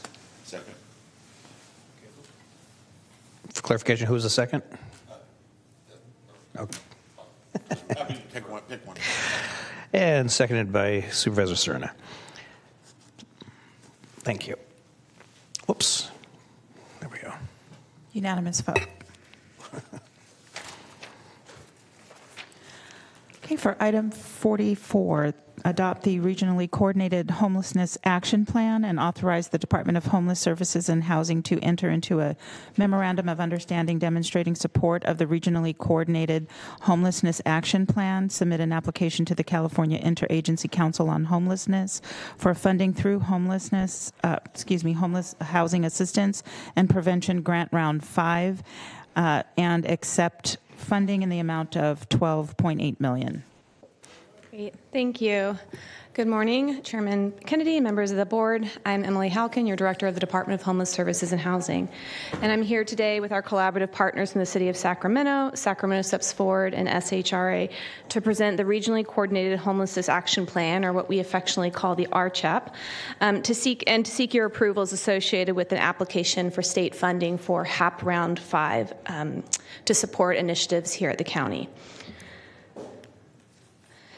The RCHAP builds off uh, the Local Homelessness Action Plan, or the LHAP, which the board adopted in 2022 and established community-wide, a community-wide strategic framework on how we work together to address homelessness. Our overall goal moving into the RCHAP remains the same, which is to transform our system of care from one that focuses on crisis response to one that focuses on increasing access to permanent housing, both to move people out of homelessness but also prevent folks from entering homelessness. And with the completion, the soon to be completed uh, 2024 point in time count, we'll soon have some new numbers which will inform what we call the gaps analysis and allow us to put some more targeted numbers behind these interventions. How much quantities of outreach efforts, sheltering, and housing that we need to help move towards what we're hoping to be a more transformed system. The RCHAP also builds off of some system level measures that were first established in the LHAP, as shown here. Um, the system level measures also align with system performance standards that our community is held to by the federal and state funders. And as with the LHAP, the community's primary focus moving forward in the RCHAP is on two primary measures reducing the numbers of people experiencing unsheltered homelessness by 20% and increasing the rate of exits from homeless serving programs into permanent housing to a rate of 42%. In addition to serving as our community's action plan to prevent and end homelessness, the RCHAP is also a very important required component of our funding application to the state for HAP Round 5 funding. The state's guidance for this application was released at the end of September, with applications due in just a couple of weeks at the end of March, which gave communities just about six months to put together what really is a very detailed strategic planning document. And despite this timeline, um, we worked very diligently um, together to engage the community in developing and building out the RCHAP. And this slide details the five public meetings where almost 250 people engaged with us to help develop this RCHAP. I should say this is in addition to many, many meetings and um, conversations we had in the context of the continuum of care. You may remember, for those of you um, who were here when we approved the LHAP, that it was grounded under six strategic solutions. And our RCHAP, or the recommendations for the RCHAP, similarly is grounded, but this time under eight strategic uh, solution areas. The changes in the RCHAP really aren't significant um, in, in terms of adding. What we're doing is pulling outreach out as its own strategy. During the LHAP, it was nestled under coordinated access, and separating out rehousing and permanent supportive housing as two distinct strategies to help move people out of homelessness and prevent, home, prevent homelessness. Um, additionally, you'll remember that the LHAP contained a strategy that was specific around access to behavioral health services. The RCHAP continues this, but is expanding it to recognize there's other integration of services and systems that we need to work on, such as employment services, education, adult and child welfare, et cetera. So these eight solutions are detailed in the RCHAP, which is attached to your board letter, and really are intended to set a strategic framework over the next three to five years.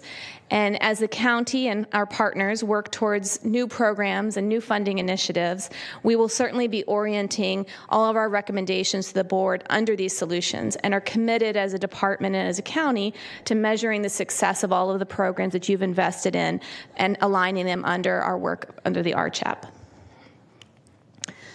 The RCHAP also contains a one year action plan, which is Appendix 1 to the RCHAP, and it details specific actions the community expects to achieve in the first year of the plan, which will roughly align with the upcoming fiscal year.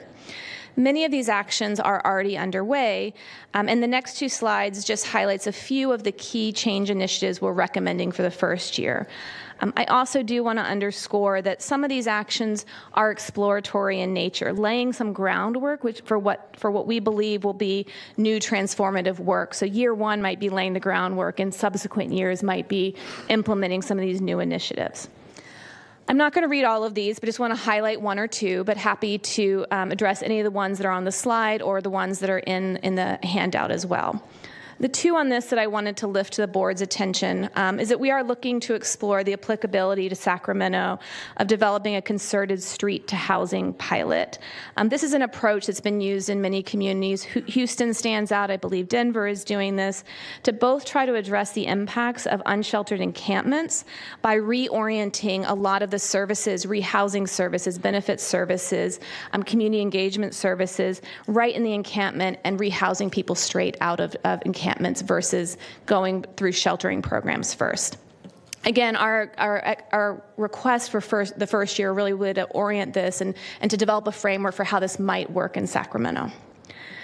The second one I want to lift up from this slide is um, something that's really critical, and we've realized through our work um, implementing the coordinated access system, is that we have a shelter and rehousing system that is not equipped to support some of our most vulnerable folks. We're seeing people trying to access shelter and housing who have very high levels of behavioral health, but more importantly, medically medical needs that the shelter system can't um, can accommodate. And so we want to start thinking about um, how we can identify new ways to shelter and ultimately rehouse those folks who have medical fragilities that, that can't be accommodated in some of our, our current system. Um, the two I wanted to lift up on this slide um, is I think we've, uh, the RCHAP also, in addition to building off the LHAP, all the acronyms in the world, um, also um, aligns with the Affordable Housing Plan, which the board adopted um, in October. And so many of the strategies that we're really excited about are about increasing our focus on housing, not just new housing, but also the quantity and efficacy of many rehousing programs we have. The county administers some, certainly the COC does, and SHRA is a critical partner too. And so really committing to looking at how we can improve improve efficacy of existing rehousing programs and making them more accessible to the folks who are experiencing homelessness. And then the final one here I wanted to lift up is a, a, companion piece that you'll see as an attachment to the RCHAP are some recently adopted community standards. Um, they were adopted by the Continuum of Care Board this fall. They are required by the federal government. And really, what they do is they seek to provide consistency across programs so that anybody entering a shelter, whether it's city funded, county funded, privately funded, is getting the same access to resources and the same experience. Um, and so we created standards to help um, develop what the expectations are. But key to ensuring that these standards are met is really providing the backbone support to our CBOs, our community based organizations running these programs. So we've, we've lifted that up as a key um, component for year one. Finally, the RCHAP also serves, as I said at the beginning, our community's application for our HAP funding round five. And while today's actions are specific to the approximately $12.8 million that the county will be receiving, we wanted to roll up and show you the impact that HAP has had on the community since its inception in 2019. Um, so this pie chart summarizes the totality of HAP funds that have come to the Sacramento region, about $173 million come, that's come to the county, the COC and the city of Sacramento um, since 2019 and where they've been invested. As you can see, most of these investments have gone to what the state calls interim housing or sheltering programs. But I do want to underscore that these categories um, sometimes don't have the nuance. Almost all of our sheltering programs we've invested in also come up with intensive wraparound case management, connections to behavioral health, and rehousing support. So these categories are not as mutually as exclusive as they might appear on a pie chart.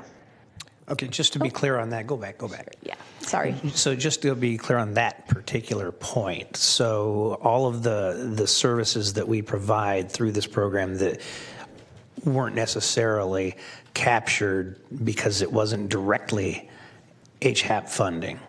Uh, no, what I meant to say is that if we fund something in HAP that is called shelter in the in the state's world, the entirety of that contract is called sheltering even if that shelter contract includes um, intensive case management, rehousing supports, which they all do. Now, the thing that's not captured, which I think you're also pointing to, is all those connections to behavioral health that are right. leveraged as, as a result of the HAP. So that that por- portion that's not captured. Here. That is so not. This is just the HAP. Funds. Above and beyond. Correct. Thank you. Um, in terms of HAP 5, the county's recommendation for our $12.8 million is shown here. Um, again, most of the funding we're recommending will be used to sustain existing HAP commitments that you've made over the years. And those include the expansion that was made a few years ago of our scattered site sheltering program, um, the funding you've committed to our multidisciplinary outreach teams, and some of our key youth serving programs that we started um, in 2019 and are continuing to support. The balance of funding for HAP 5 is recommended to support the new safe stay sheltering operations. This would include running the shelters, but all those um, auxiliary services that come with it. Today, we're seeking your approval to, for the board uh, for these broad funding categories, and we will be returning to you with specific projects and contracts for approval as we are spending down existing HAP dollars first. Um, it's anticipated that these funds will start to be incorporated into contracts in fiscal year 25 26, but we'll be returning to you as those funds start to come to play. And, and you put in the pot for each one of these categories. Uh, you came to these numbers based upon our experience over the last couple of years in, in doing essentially this work. So this isn't a, you know, we're not throwing a dart at the wall we actually are basing this on data that we've got from our past experience. Yeah, so uh, a few of these things are, are mandated. So, for example, the youth set aside is mandated. Admin is, I mean, I guess you don't have to take your admin, but we do need to administer these, those things.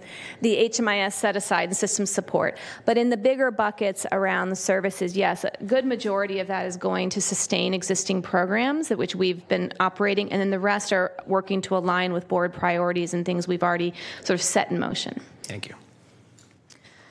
Um, so finally, the approvals, the specific approvals we're seeking from you today are to approve the RCHAP itself, to approve our funding recommendations for the HAP 5 application, to authorize staff to develop the balance of the application. The RCHAP is the bulk of it, but there's some other documents we have to put together for the state, which does include an MOU that must be signed by the county, the city, and the COC, and also to approve receipt of the funding upon award by the state. With that, I'm happy to answer any questions, and our partners are here as well if you have questions for them. Okay, thank you, thank you, Emily. And we've had uh, we had some discussions about the RCHAP during our, our two by four with our, our city colleagues uh, last week, and also at the Homeless uh, Policy Council meeting on Friday.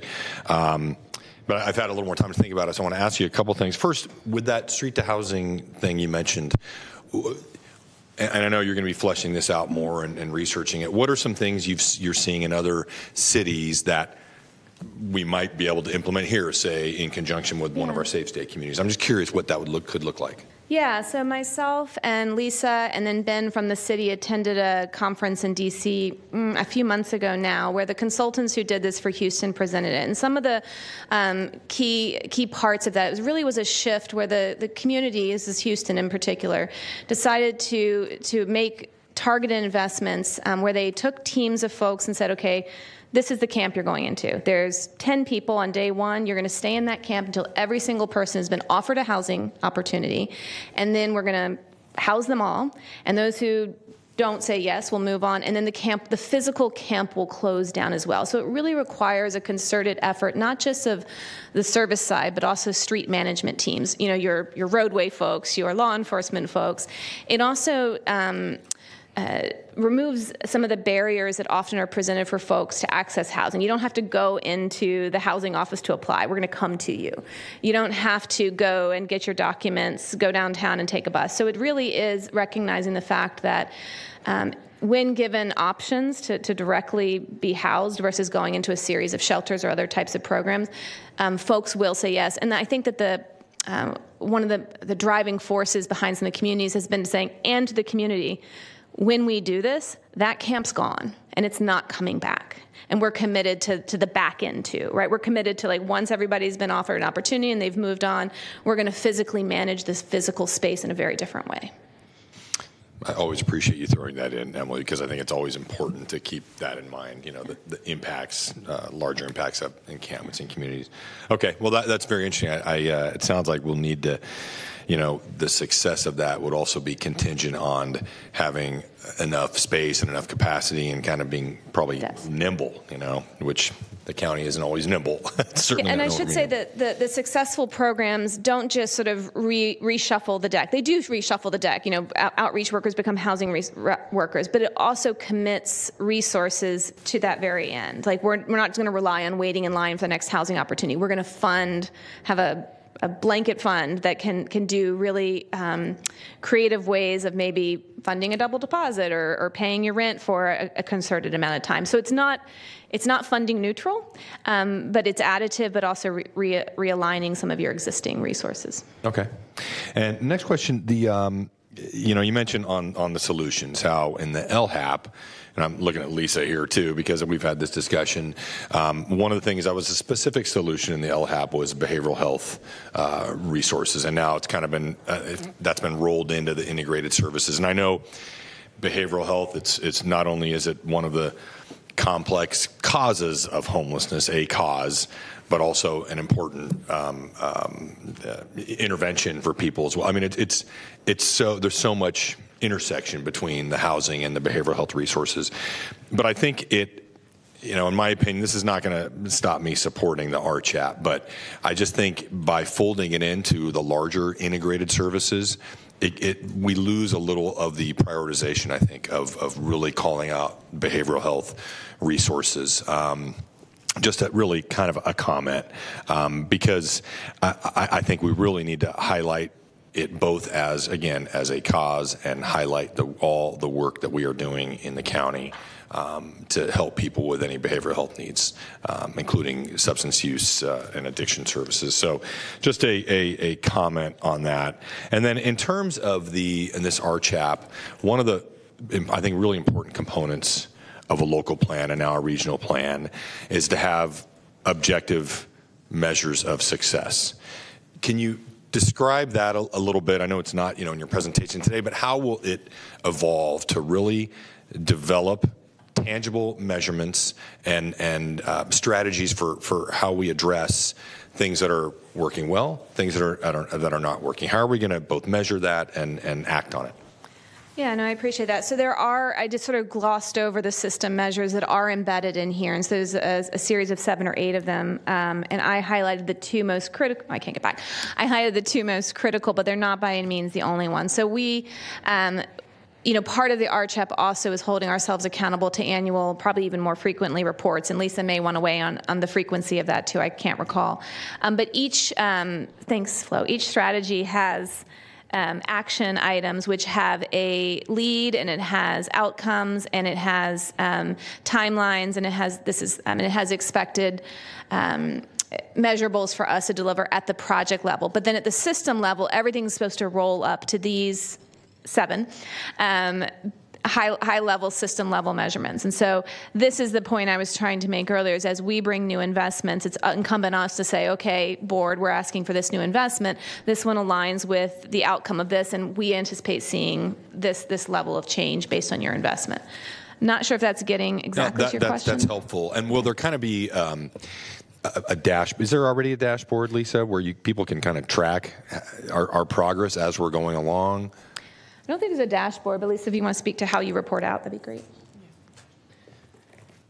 Thank you, Lisa Bates with Sacramento Steps Forward. Um, currently, we uh, have the quarterly reports for the LHAP on our uh, website. And so, what we would envision is with the RCHAP, we would also be producing quarterly reports that could evolve into a dashboard, but uh, for the moment would probably be reports. The other thing I would like to add is, in addition to the system level measures, and, and Emily touched on it, is that we're trying to also come forward in the summer with um, metrics and information around all the programmatic activity because your programs add up to then what's going to be effective at the system level. So we're starting to build some consistency in terms of reporting on how well are our shelters doing, how well are our rehousing efforts doing, and, and having um, consistent metrics that are applied. So that information will also start to be um, shared out as part of this process come summertime. Great. I'm, I'm glad you mentioned that because the um, I think measuring those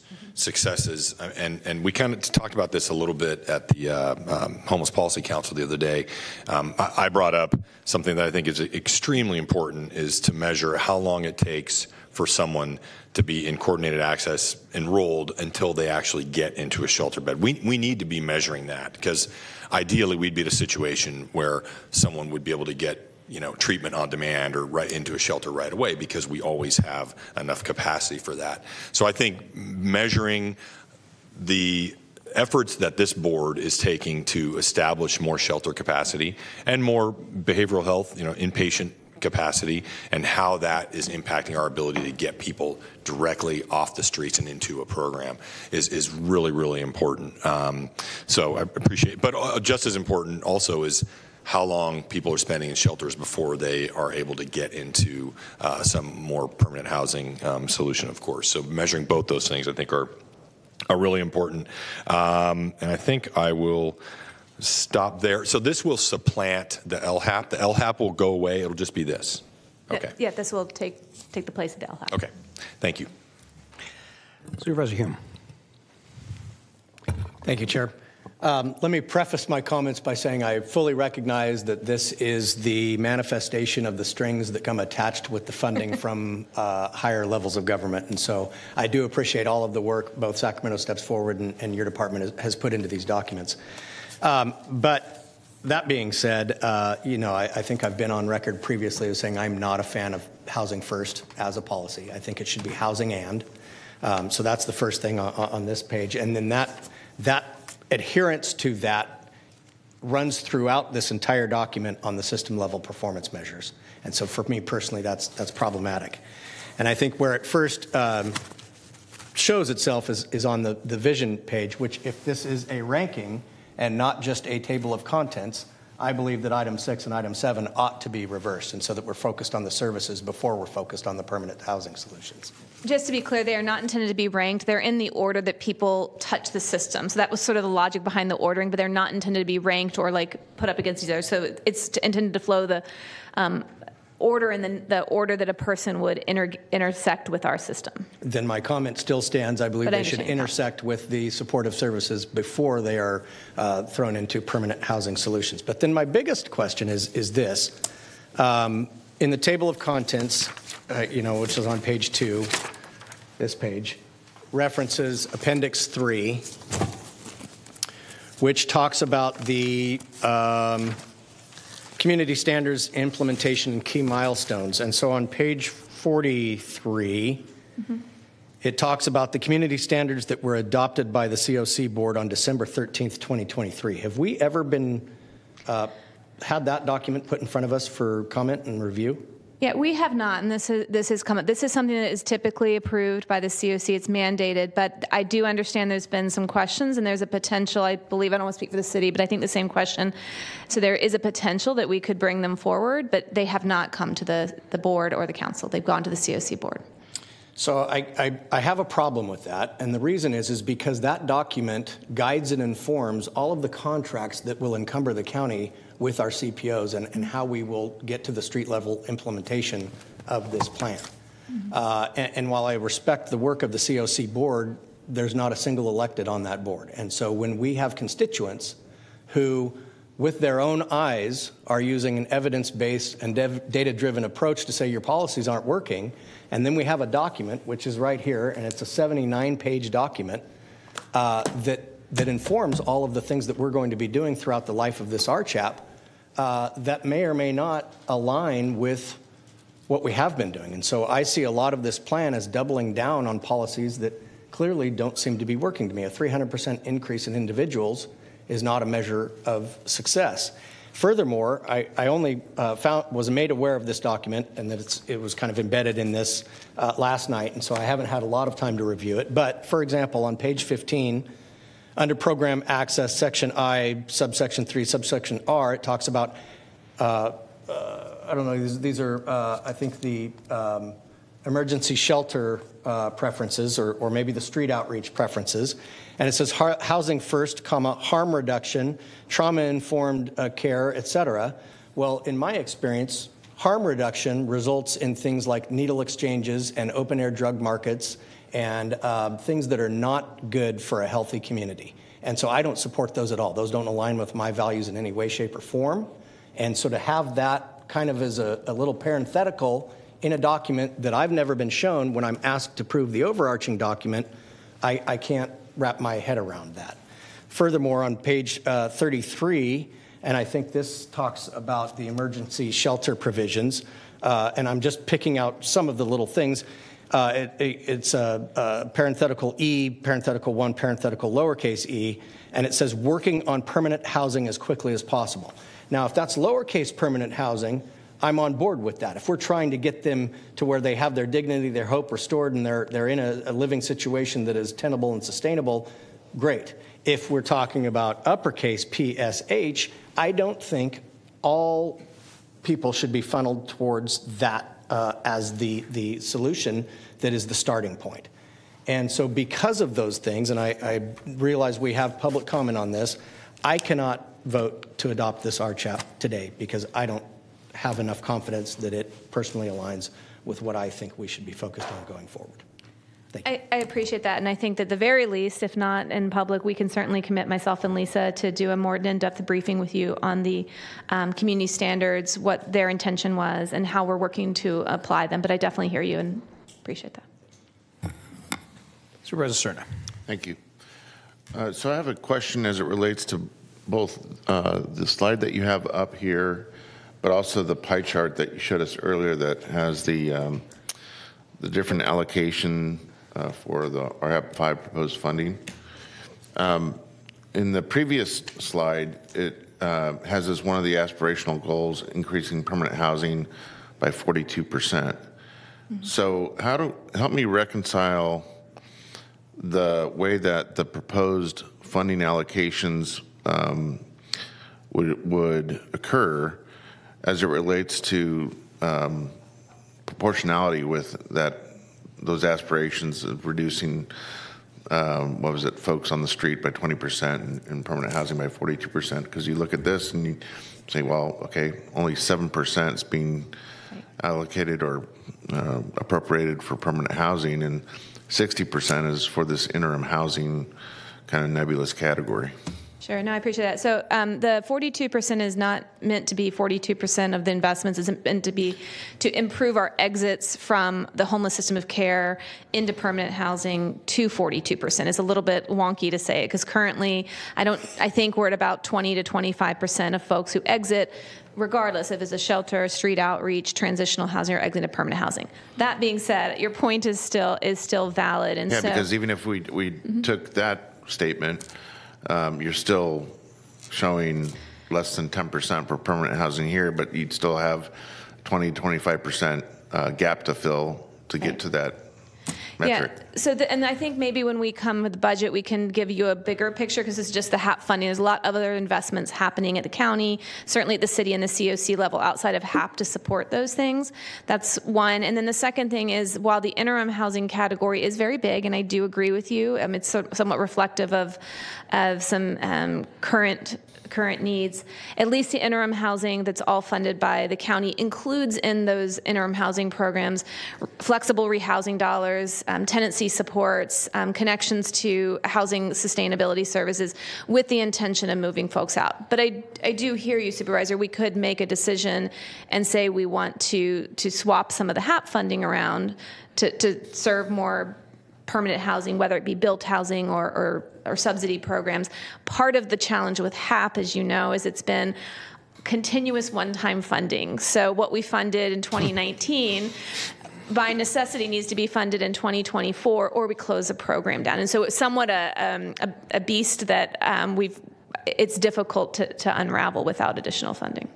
And then as it relates to the, the uh, 10% prevention identified on the pie chart here, uh, can you give me some, um, give us some um, detail to that? What, for instance, what does Yeah. that include? So I, I can't speak to the cities, but if they may be able to, I can definitely tell in our pie chart, we do a, um, a program with Lutheran Social Services for youth prevention and early intervention, which provides um, access to, to resources, some rehousing um, assistance or sustainable, uh, as well as a lot of wraparound services.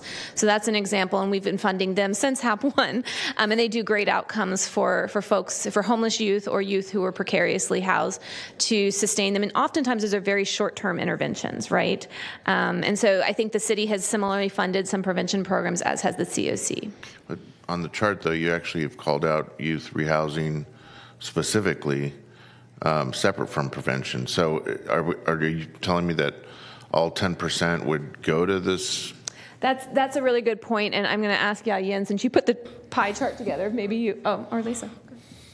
Actually, I think the majority of this prevention dollars in the HAP funds has actually come from the COC. So in conjunction with the coordinated access system, we've stood up a problem-solving access program whereby we are trying to identify people who are at about to be homeless in the next 14 days or, or just became homeless and provide short-term one-time financial assistance to help bring them back into housing. So the majority of this money that you see here is actually coming from the COC, dedicating funds for that, for that program, working in conjunction with a number of providers in our community. And the expectation is to continue to build that prevention framework, and that's one of the key actions identified in your RCHAP. So is that direct subsidy of people's rents? Yeah, uh, eviction avoidance, um, um, landlord, you know, uh, we actually have in our CAS annual report, which um, is on our website, and I'm sure staff will give you how that money is being used in the community. Thank you. That just reminded me, the county has also uses a portion of our HAP funds for an expungement clinic in partnership with the public defender, which I think would be categorized in, as this prevention, similar to what Lisa. Not as big as the COCs, but. Supervisor Desmond. Thank you, Mr. Chair, and thank you for, let me go back to this. I want to, I want to comment on, a- and have a few questions on um, Supervisor Hume's points, because I, I, I share some of his concerns, and I want to understand this a little better, um, Emily. With the, the community standards that are developed, I'm looking, so it looks like it's a requirement of federal law, these funds, that we have to develop these community standards. If we pass this RCHAP today, are we adopting every one of those community standards? Because it, it's, I mean, the document says it applies to the LHAP. Are, are we going to be revisiting these community standards? I'm looking at least, I don't know who. I mean, they, go ahead, Lisa. And I said, the, the community standards have already been adopted to Supervisor Hume's request. It may make sense to bring them back to share with you. Um, so the RCHAP in and of itself won't affect that adoption. Okay. However, what it will do, I think, is provide us some direction to, um, to do more work with the providers, to train them up on it, to bring them the resources to make sure they can meet those standards. Um, but they are they are referenced in here because certainly they're important, but they are a, a separate document. Okay. I, I think it is a, it, it's a very good point that really the, the meat and potatoes behind this thing is, is this, the community standards. I mean, that, that really dictates a lot who can be eligible for the funding that this board approves. And we don't have, elected officials don't have a role in these. Lisa, can you respond to that? So first of all, um, you're correct that this is something that the COC is required to do, set common standards. Um, and they're building off of standards that the county and the city have previously adopted, particularly shelter standards. So we took an eight-month process to convene community um, representation, focus groups, staff, uh, looked at best practices across the country, um, and built upon what this community already has in your contracts and um, any standards that may have been adopted. There's also a recognition that this is an iterative document, that it is it is a live document that will morph and change, you know, depending on our ability to to implement it. So it has flexibility built in. It's also recognizing that not everyone may be able to meet the standards day one, and that's okay. And so you all have the contracting authority, and you can choose which of the standards you're going to incorporate or what exceptions you're going to allow. So, um, although we've put the standards in place, you're largely the ones that are contracting for most of the funding for the for the community. And so we um, have acknowledged that we, we, I think it would be fair to say most people want to see some level of standards in our community, some quality, and some baseline. But we, we also recognize that 95% of the services are community based organizations. So, in some ways, we want to make sure that not only are we um, clear on our standards, but that, that, the, that the community based organizations can also work or strive to meet those standards, even if it's going to mean over time. So there's a long runway built into these standards as well, recognizing that this is our first start. Um, so I just wanted to make clear that you all have the authority in terms of how you are um, choosing to bring these these um, standards into your work. But it is our hope that over time that we build that consistency as a community, and certainly we'll be trying to report out. So the more consistency there is among programs, so you're comparing apples to apples, that's going to be important too as as we move forward with more transparency in terms of how programs are doing. Okay. Uh, that's very helpful. I really appreciate that. And I, I do think that you know community standards that were maybe developed over the course of years, um, we also have to look back and see, hey, did we maybe have a little too much rigidity in those standards? Should we should we? And and the thing that comes to mind is uh, what what Supervisor Hume was mentioning, and we we did hear from some providers about um, the housing housing first, you know, rigidity, and and I and I think if we impose that on every single program, I think we are, are, missing an opportunity to serve some people that, that may not do well in that environment. Um, and so let me just ask you that question with the, the housing first. Is that a, a? I've been told that that is an absolute requirement for these HAP dollars because they're federal dollars. Is, is, is that an accurate statement, or are there ways to create exceptions and, and fund programs that are an exception to that? Yeah, I'd say most of our external funding, including the state funds, HAP, and the, the, federal funds, do require adherence to Housing First. That being said, to Lisa's point, there are contracts that the county administers using other funds, which you, you would have more flexibility on. And I did want to say that um, with the community standards, my staff are already reviewing those in light of our current contracts and planning for upcoming contracts for the next fiscal year and looking at places where we have some differences and how to, to incorporate those into those. So I think the contracting process, and that, to Lisa's point, is, a, is something that the board can certainly weigh in on. Many of our contracts contracts, because they have state and federal funds, right. do do already um, probably align with 80% of the things in the standards. But there are a few um, that, especially if it's a general funded program, that that we might want to do a little deeper dive and look at what flexibility we might have. I mean, there are and in the standards buried in one of them. I don't. It'd probably take me a while to find it here. It does. There is a mention of programs that do maybe require sobriety in a place for these kind of subpopulations. So, you know, I, I appreciate that that's in there, but I, I think we have to um, really have a, a, continue to have a conversation about. Um, funding some of these these types of programs that don't adhere to this strict, you know, housing first um, uh, approach. And in terms of the harm reduction, I think it's also an important point I want to underscore too, because there's a huge spectrum, everything from you know having Narcan available in schools to uh, to needle exchanges to assisting someone who maybe is using heroin out on the streets. And in the latter example, I mean, I think you saw a lot of that in the city of, Sac- of San Francisco. Um, some approaches that are kind of being disavowed by by the city of San Francisco at this point because they went too far. So um, harm, all harm reduction is not equal. Um, so I, I, think it's important that as these are developed and discussed, that that's part of the discussion. Um, final question is so since this is RCHAP, what th- will this be then going to? Will you be doing a presentation at all? I know our friends from the from the city of Sacramento are here and, and welcome in these very welcoming chambers. Um, We're headed there at 2 o'clock. how about the other cities within the county? Will they be getting a presentation on this? Um, so, so the only um, communities who are required to adopt the RCHAP are those receiving HAP funds. So that's ourselves, the City of Sacramento, and the Continuum of Care Board. The Continuum of Care Board will be um, reviewing this tomorrow morning. That being said, the other cities were welcome to the table. Some of them engaged at different levels in the development, but they are not formally adopting that, um, nor do they have to sign on to the MOU as a, as a contingency to submit that, the funding application. We're continuing to work with them, and there's some additional work around how they participate in this region, but the HAP the HAP funding is not contingent on any of them signing off formally on the RCHAP or the MOU. Okay.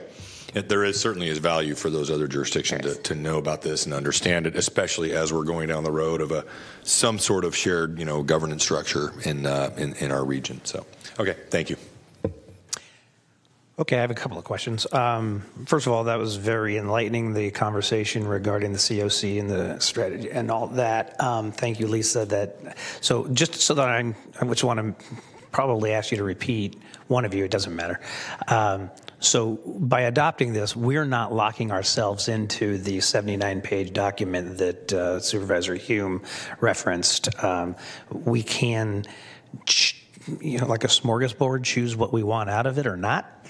You are definitely not locking yourselves into that. I think the place where you can have input is, to Lisa's point, in our contracting process. And so we as staff can certainly bring to you those places where there's differences between our current contracts and the standards and potentially have that conversation as we enter into next fiscal year's contracts. But you're not tying yourself to, to the totality of those standards today. I think what you're committing to is, is working collaboratively with our community partners to figure out what standards are appropriate and how to, how to bring resources to our providers so they can meet those standards that we all agree upon. Okay, great. Um, and but it, it, it is it does reference in, in the throughout the document and at the um, in the resolution that we will you know enter into this MOU uh, and it includes with the continuum of care lead. Uh, is that the chair? Um, I don't know who actually signs on your behalf, It's you? Lisa. Lisa signs. Okay. Well, that gives me a level of comfort. That's good. Um, so so then. Uh, but, but but we haven't seen this MOU. It hasn't been drafted, but we're being asked to approve an MOU that hasn't been written, right? Yeah, uh, it has been um, drafted and reviewed by county counsel. It's not attached to the to the board letter in part because of the quick timing to get this Yeah. approved by you and get to the state. However, county counsel and city attorneys have both reviewed it. It's a very, um, and I'm happy to share it once it's finalized. It's it's pretty high level. I don't, um, but we can definitely share it with you. But we, in order to keep this on track and not miss the March submittal deadline, we were sort of I get that. Then my recommendation would be to keep it as high level as possible. At. That point. Okay. Um, great. Do we have any public comment on this? Oh, and by the way, this isn't a, a conversation necessarily on harm reduction, but since it's been brought up um, specifically uh, a couple of times, um, I, I uh, uh, agree with uh, Supervisor Desmond that har- harm reduction, when done right, and uh, can be extremely important to our community, and things like needle exchange, which I personally uh, do believe is important. Um, but you know, I've seen organizations called needle, needle exchange, leaving a box of needles in a bush in a park for people to go get, and I've also seen it responsibly uh, managed in ways that it probably saves many lives. So um, I, I will go on record as being probably more supportive than some of harm reduction programs. Do we have public comment? Okay, Um, Jeffrey Tardigia. Jeffrey Tardigia, advocate. Uh, I am here because a previous board member, Don Natoli, and the previous executive director of COC um, said, Come, listen, talk with us. And Patrick, I appreciate you reading the documents. There is importance of reading what documents are here going on. Um, I've just resigned from the being the time and point co-coordinator chair on that. Um, I am looking forward to seeing, and unfortunately, have my doubts that we're going to exceed our 9,000 point in time count that we've had in the past, um, just because of other circumstances that occurred. But to this point is, is this is a approval here of the next step of what needs to be going on and happening. And I appreciate you looking at quarterly reviews to see what is happening and going on. You might say I've almost spent the last decade of working on point in time to see that we get the numbers accurately and recorded. The other reason I am here on that is that for this is because we need to have law enforcement let COC know what they are doing mm-hmm. with the homeless. When we did this point and count this last time and the previous time, we had between five and 15 camps disappear. They were just gone. So they were unaccounted for. We found some, two or three, but they were not able to be counted. So we have no idea. And you've seen how it has transformed over this decade from going from 3,000 to 6,000 to 9,000. Um, and here we are trying to make a better effort and getting the accountability in uh, about what is going on and happening. And that's my public comment in support of this document and this intention. Thank you. Thank you, Jeffrey. That concludes your public comments. Thank you. Supervisor Frost. I just want to go on record as um, Supervisor Hume's comments resonated with me. I appreciate that there's flexibility. Um, I am um, concerned about voting for something that I haven't seen, the MOU. And so I'm probably not likely to support. Okay, any other comments? All right. Is there a motion? Chair will uh, move staff recommendation. Second. We have a motion and a second. Please vote. And the motion carries with Supervisor Hume and Frost recording a no vote. Thank you. Thank you very much. All the work, Emily and staff and Lisa. Thanks. Okay, item 45 is the one-year report out on the city and county partnership agreement. Hello again. um, Emily Halcon, your director of the Department of Homeless Services and Housing. And Flo, can you pull up the other, or have them pull up the Yeah, other? can- Thank you. Um, Metro, I'm going to ask Metro to pull that up for them, please. Thank you. So, um, following up on the RCHAP approval, we're now here again with our partners in the City of Sacramento to share outcomes from our first year implementation of the City and County Partnership Agreement. It's very opportune that this item is following the adoption of the RCHAP, and we hope that you'll see some of the work that we're doing under this partnership agreement is supportive of the strategic initiatives we just discussed. Um, I do want to stress that while the partnership agreement does not reflect the entirety of what either the city or the county is doing to address homelessness, it does capture some significant collaborations that we continue to enhance and expand upon.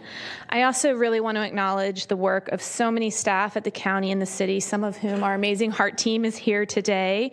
Um, they really are demonst- have demonstrated at the street level, literally, the collaboration that's called for in this partnership agreement and their daily work to help those living unsheltered in our community, as well as to address the impacts of homelessness that we see throughout our community. But we also want to acknowledge that we have more to do. Um, as we go through the accomplishments of this first year, we're also aiming, of course, to do better every single day and to align this work better with the regional plan that you just adopted. Um, as we discuss some of the outcome data specific to the partnership agreement, we will highlight not only the improvements we've made over the course of this first year, but additional improvements that we're committed to making as we move forward. Um, in your board packet, you have two reports, both of which we're going to very briefly review. The first one we're going to go through is actually the second attachment, so our apologies on the ordering there, which is the narrative status report for the second six months of the agreement. And please also note that the six month report is actually seven months um, because the first six month report captured a portion of December of 2022, but we're now moving forward with true six months starting in the year 2024. So, the partnership agreement, as you know, holds the city and the county to some specific outcomes that are generally center- centered around four main areas, which are shown here. Um, the written report is similarly organized and it has directives from each category that are summarized, as well as progress that we showed we have shown with a designation of green, yellow, and red coloring to indicate the status of where we're at. Um, in the outreach category, you can see a series of eight or nine um, commitments we have made. We were work, to work together to hire and deploy 50 encampment workers in the city of Sacramento. That includes 25 through the city itself, 15 that are funded by our managed care plans, and then 10 behavioral health workers. And these folks were to provide multidisciplinary outreach teams um, throughout the city. Deployment of these teams is at the discretion of the City Department of Community Response, um, and they prioritize which encampments the teams visit. As you can see, they're all green. All of these requirements have been met, and the teams do meet regularly both in the field and to um, talk about planning and strategy. Um, the requirements that we've categorized as services primarily speak to the expansion of access to county behavioral health services for people who are living unsheltered in the city of Sacramento. And as you can see, we've noted all but one of these has been met with the green dot. The one that we've marked yellow, or really indicative of still in progress, is reflective of some additional work that needs to be done with our managed care partners around increasing capacity within the CalAIM enhanced care management and community support programs. Um, the third category of work that we committed to under the partnership agreement is around sheltering and housing. And as you can see, these are also mostly complete. Um, only a yellow is marked underway related to the city's provision of shovel ready sites for up to 200 new safe stay beds that would be in the city of Sacramento. As you know, the city and the county are working with the state on the first um, site that is groundbreaking as we speak on Stockton Boulevard and will contain 175 of these 200 beds. And we're continuing to work with the city on options for the balance of those units. Um, the final category is around training and information, and as you can see, we continue to work on a few of these. Um, specifically, the city has asked for training on a few county programs, and my staff are working right now with our sister departments um, to provide those in the coming month or two, mostly around how they can better understand some of our benefit programs and some of the programs run out of DCFAS and others. Um, Data sharing is well underway in our shared HMIS database, where both the city and the county teams report the majority of our efforts. However, both the city and the county have separate databases that they use to support their individualized work. The city, for example, uses a separate database for some of their encampment and deployment data, and the county, the behavioral health team, of course, uses a separate database for clinical health information. And so we're continuing to work on options of how we can both have better visibility into these sort of um, very specific databases because they do influence the work we do together. Supervisor Serna. Thank you. Um, as it relates to that last, uh, that bottom um, acknowledgement there, the county shall provide city with 5150 train holds. Is that uh, purely for sworn uh, police officers? Yeah, no. So that, the reason this one is yellow is because this is primarily because this is not for trained officers. It's intended for DCR staff, but currently they don't have clinical staff on, on staff who can do that. I was going to say, are- are they even um, at a place uh, in their professional certification to be able to do that? Right. It's my understanding that currently they can't, which is why we have not done that training. Should DCR start employing clinical staff, we'll of course do that. Okay, thank you. Thank you. Um, this slide just summarizes the previous slide, showing the overview of the progress in each of the four categories and noting again the areas where we're continuing to work towards meeting some of the expectations in the partnership agreement. Um, overall, I just believe, as I think our city partners do, the city and the county teams have really found the partnership agreement to provide a really good framework for our continued collaborations and to enhance our abilities to support those people, the most vulnerable citizens of the city of Sacramento. And now, if it's, I'd like to switch to the overhead, if that's okay, Flo, um, and talk a little bit about the second attachment, which is really the first attachment to your board letter.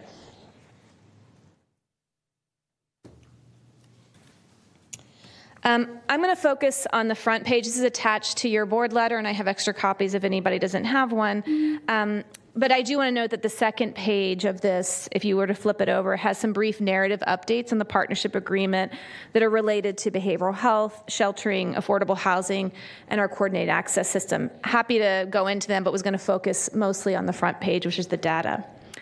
So as you can see, the data on this uh, document includes both six or really seven month data on the left hand side of the table and the year to date for the calendar year of 2023.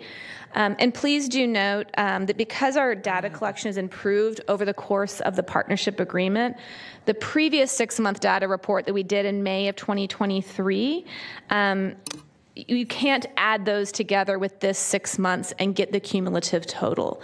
Um, specifically, some of the, the, mathematical reasons behind that are that in the first report, we really focus on the multidisciplinary deployment of our teams together.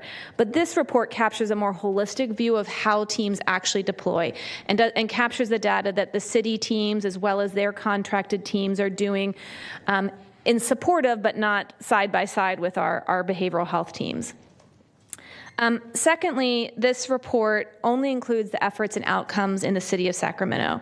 I do want to let the board know, because I know this is important to you, the county staff are compiling a very similar report for our co-deployment efforts in the unincorporated county and the Parkway, and we'll be presenting that to you at your next board meeting on March the 26th. So you'll get very, very similar data for the unincorporated county.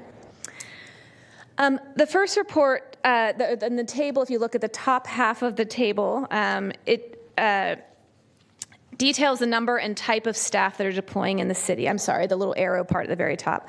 And you can see that we have exceeded the requirements of the partnership agreement. We now have 12 behavioral health staff co deploying with the city. The agreement requires 10. Um, in a minute, Tim Lutz from the Department of Health Services is going to expand on the work of this team. But I also wanted to note that behavioral health service access is not only through our heart outreach teams. Um, we've done, expanded our core centers. We have other mobile ways that folks who are experiencing behavioral health crises and living on shelter can access behavioral health services. So this is a portion of the great work that they're doing, but not the entirety of that. Emily, how many core centers do we have in the city? Know we have 11 to, four in the city. Thank you. Four okay. in the city. And one of those is the downtown site that we committed to through the partnership. The 11th one that we added due to the partnership agreement, yes. Thank you.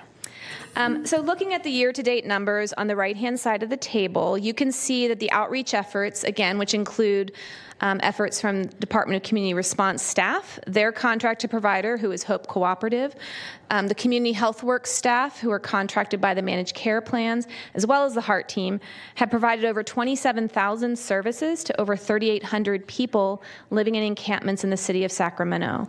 373 of those exited from unsheltered homelessness, but I do want to note this does not include those that the city teams may have transitioned to their outreach and engagement center or Miller Park. Um, and so that, that is above and beyond what's reported here. And then you can see the types of services that are most commonly provided are noted below that. Um, I'd like to pass the rest of the data discussion to Tim Lutz, um, who will detail the efforts of the behavioral health team. But before I step away, if there's questions on this general outreach data, myself or Brian Pedro from the city can answer any of those. Supervisor Hume. Thank you, Chair. Uh, first of all, Emily, really appreciate this information and how it was disseminated. The summary with those color coordinated dots, very easy to read. Love seeing the fact that it's it's just populated mostly with green dots, couple yellows, and no reds. So that's very encouraging. Um, and then this report is very meaty and, and obviously uh, uh, a little harder to digest. But I, I, wanted to, since you mentioned that you weren't going to get to the second page of it. I did just want to make sure I'm reading it correctly that uh, this is cumulative of both agencies' efforts. Yes? And so, specifically, what I'm asking is under new sheltering, we only mention what the county has stood up in this time frame? Is that because the city did not stand up any shelters in that time frame? No, that is because in the partnership agreement, that's all that is called out. So this is only calling out those shelter beds that were specifically required in the partnership agreement, of which there was 200 the county was to open in the county, an additional 200 should the city provide shovel-ready sites. So this is not meaning to say the city didn't do anything above and beyond. This is just what the partnership agreement required. Thank you for that clarification. Okay, if that's if there's no more questions for now, I'm going to let Tim talk about the behavioral health. Thank you.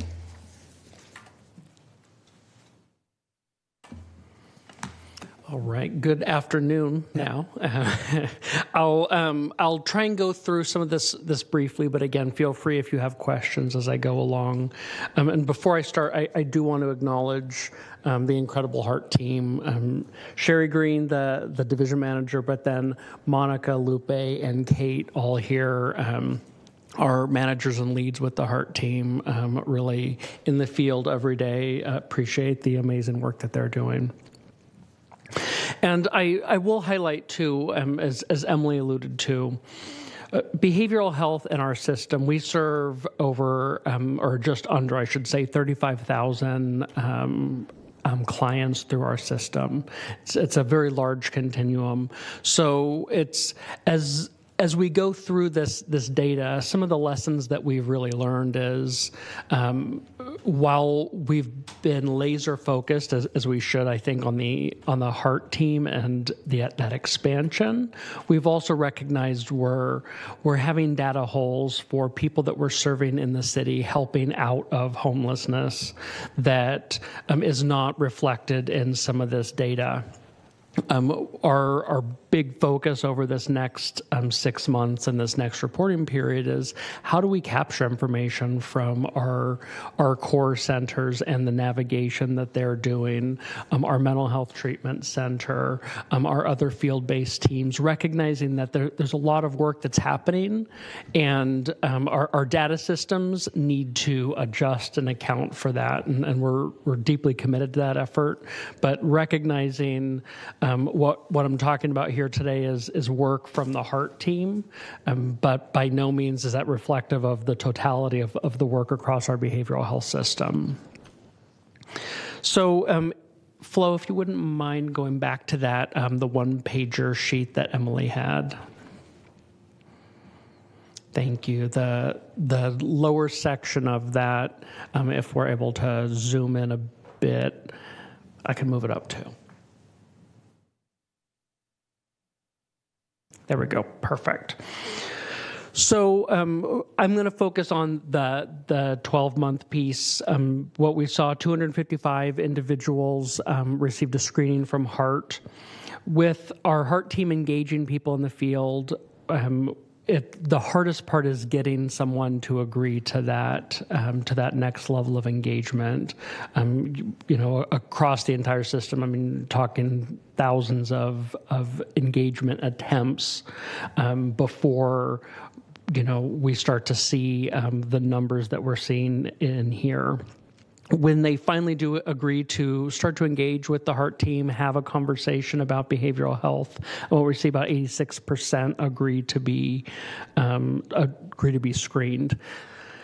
And then within that screening, then um, we identify people who um, who, based on that screening tool, should be referred into a program You'll notice the 255 is smaller than the 380.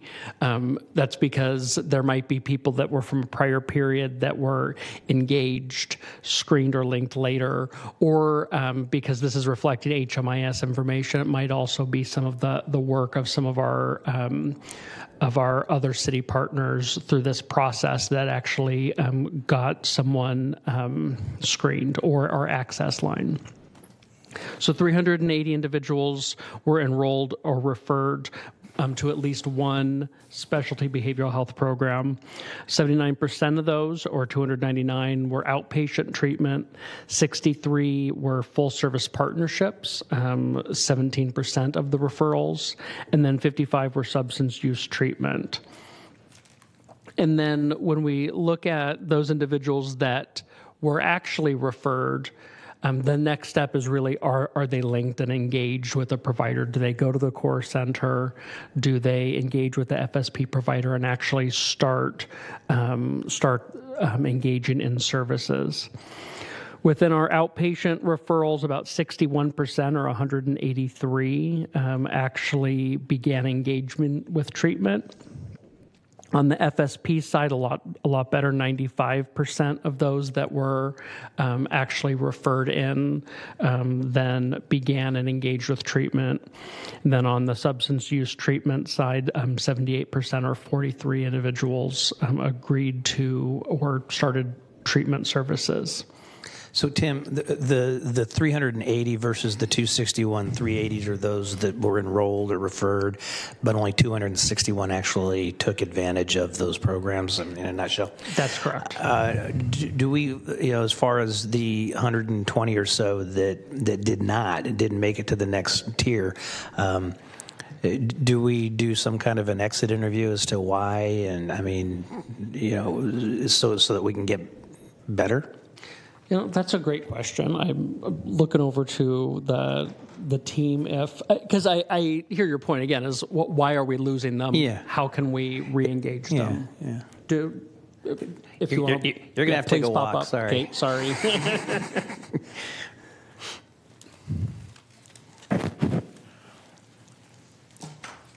Thank you, uh, Kate Fournier, one of the program coordinators for Heart. Um, so the we don't have a concrete answer for that. The reason being that many of those individuals are lost to services, meaning they get swept, they get cleared, and we don't know where they went, or they get moved on. There's a lot of reasons why people don't show up for services, but a huge one is that we can't find them. Um, we do try to provide our phone numbers, contact information if they don't have a working phone, if they don't have a way to charge that phone, they can't reach us and we cannot reach them. So we do our best efforts to find those individuals and re-engage them in services, but oftentimes we don't know where they are and they also have to be ready and willing to take those services and that is part of the process of building rapport and re-engaging. Okay, so that that that leads me because these aren't necessarily the hardest of the hard to serve if they're already to the point where they are engaging at all. Uh, we know there are those that are difficult to even get it engaged. Um, so I, I, guess. It, it, I lost my train of thought, but but but I, I just want to make sure that, and I, and I understand it's it's difficult, and you know there, this is literally a transient, you know, community that, that we're dealing with, um, but. Uh, do do we keep statistics on those that are in the 380 and then eventually become in the 261? You know, I mean, is it a personal choice? Do they decide now I want to engage? And and, and let's keep the sweeps and all of that stuff on the other side. That's a completely different. But just from somebody, because it seems to me that you guys work so hard, and we keep hearing about, you know, you have to touch after touch after touch after touch. Sometimes it's a dozen, sometimes more, sometimes less. Um, but uh, I just wonder how we can just do a better job of maintaining those touches. And, and you know, we have a conversation at the four by two all the time that it's not just about engaging in, a, in an encampment. It's about getting, engaging more importantly with individuals and, and not to be a mile wide and an inch deep just by saying, okay, we've been to that encampment you got to keep going back, and that means maybe less encampments, but eh, getting to more individuals. So, I just want to, you know, make sure that we're not giving up on folks. We, you know, some agencies think that handing out a brochure is good enough, and they've said that's engagement. I understand that you guys are a bit deeper than that, and I appreciate that. Um, but you know, I just want to make sure that we're making sure that the 120 who at least put their foot in the door, uh, that we continue to try to reach them. And I would say that we do. Um, again, when we know where they are and when we can locate them, we absolutely will continue to re engage them.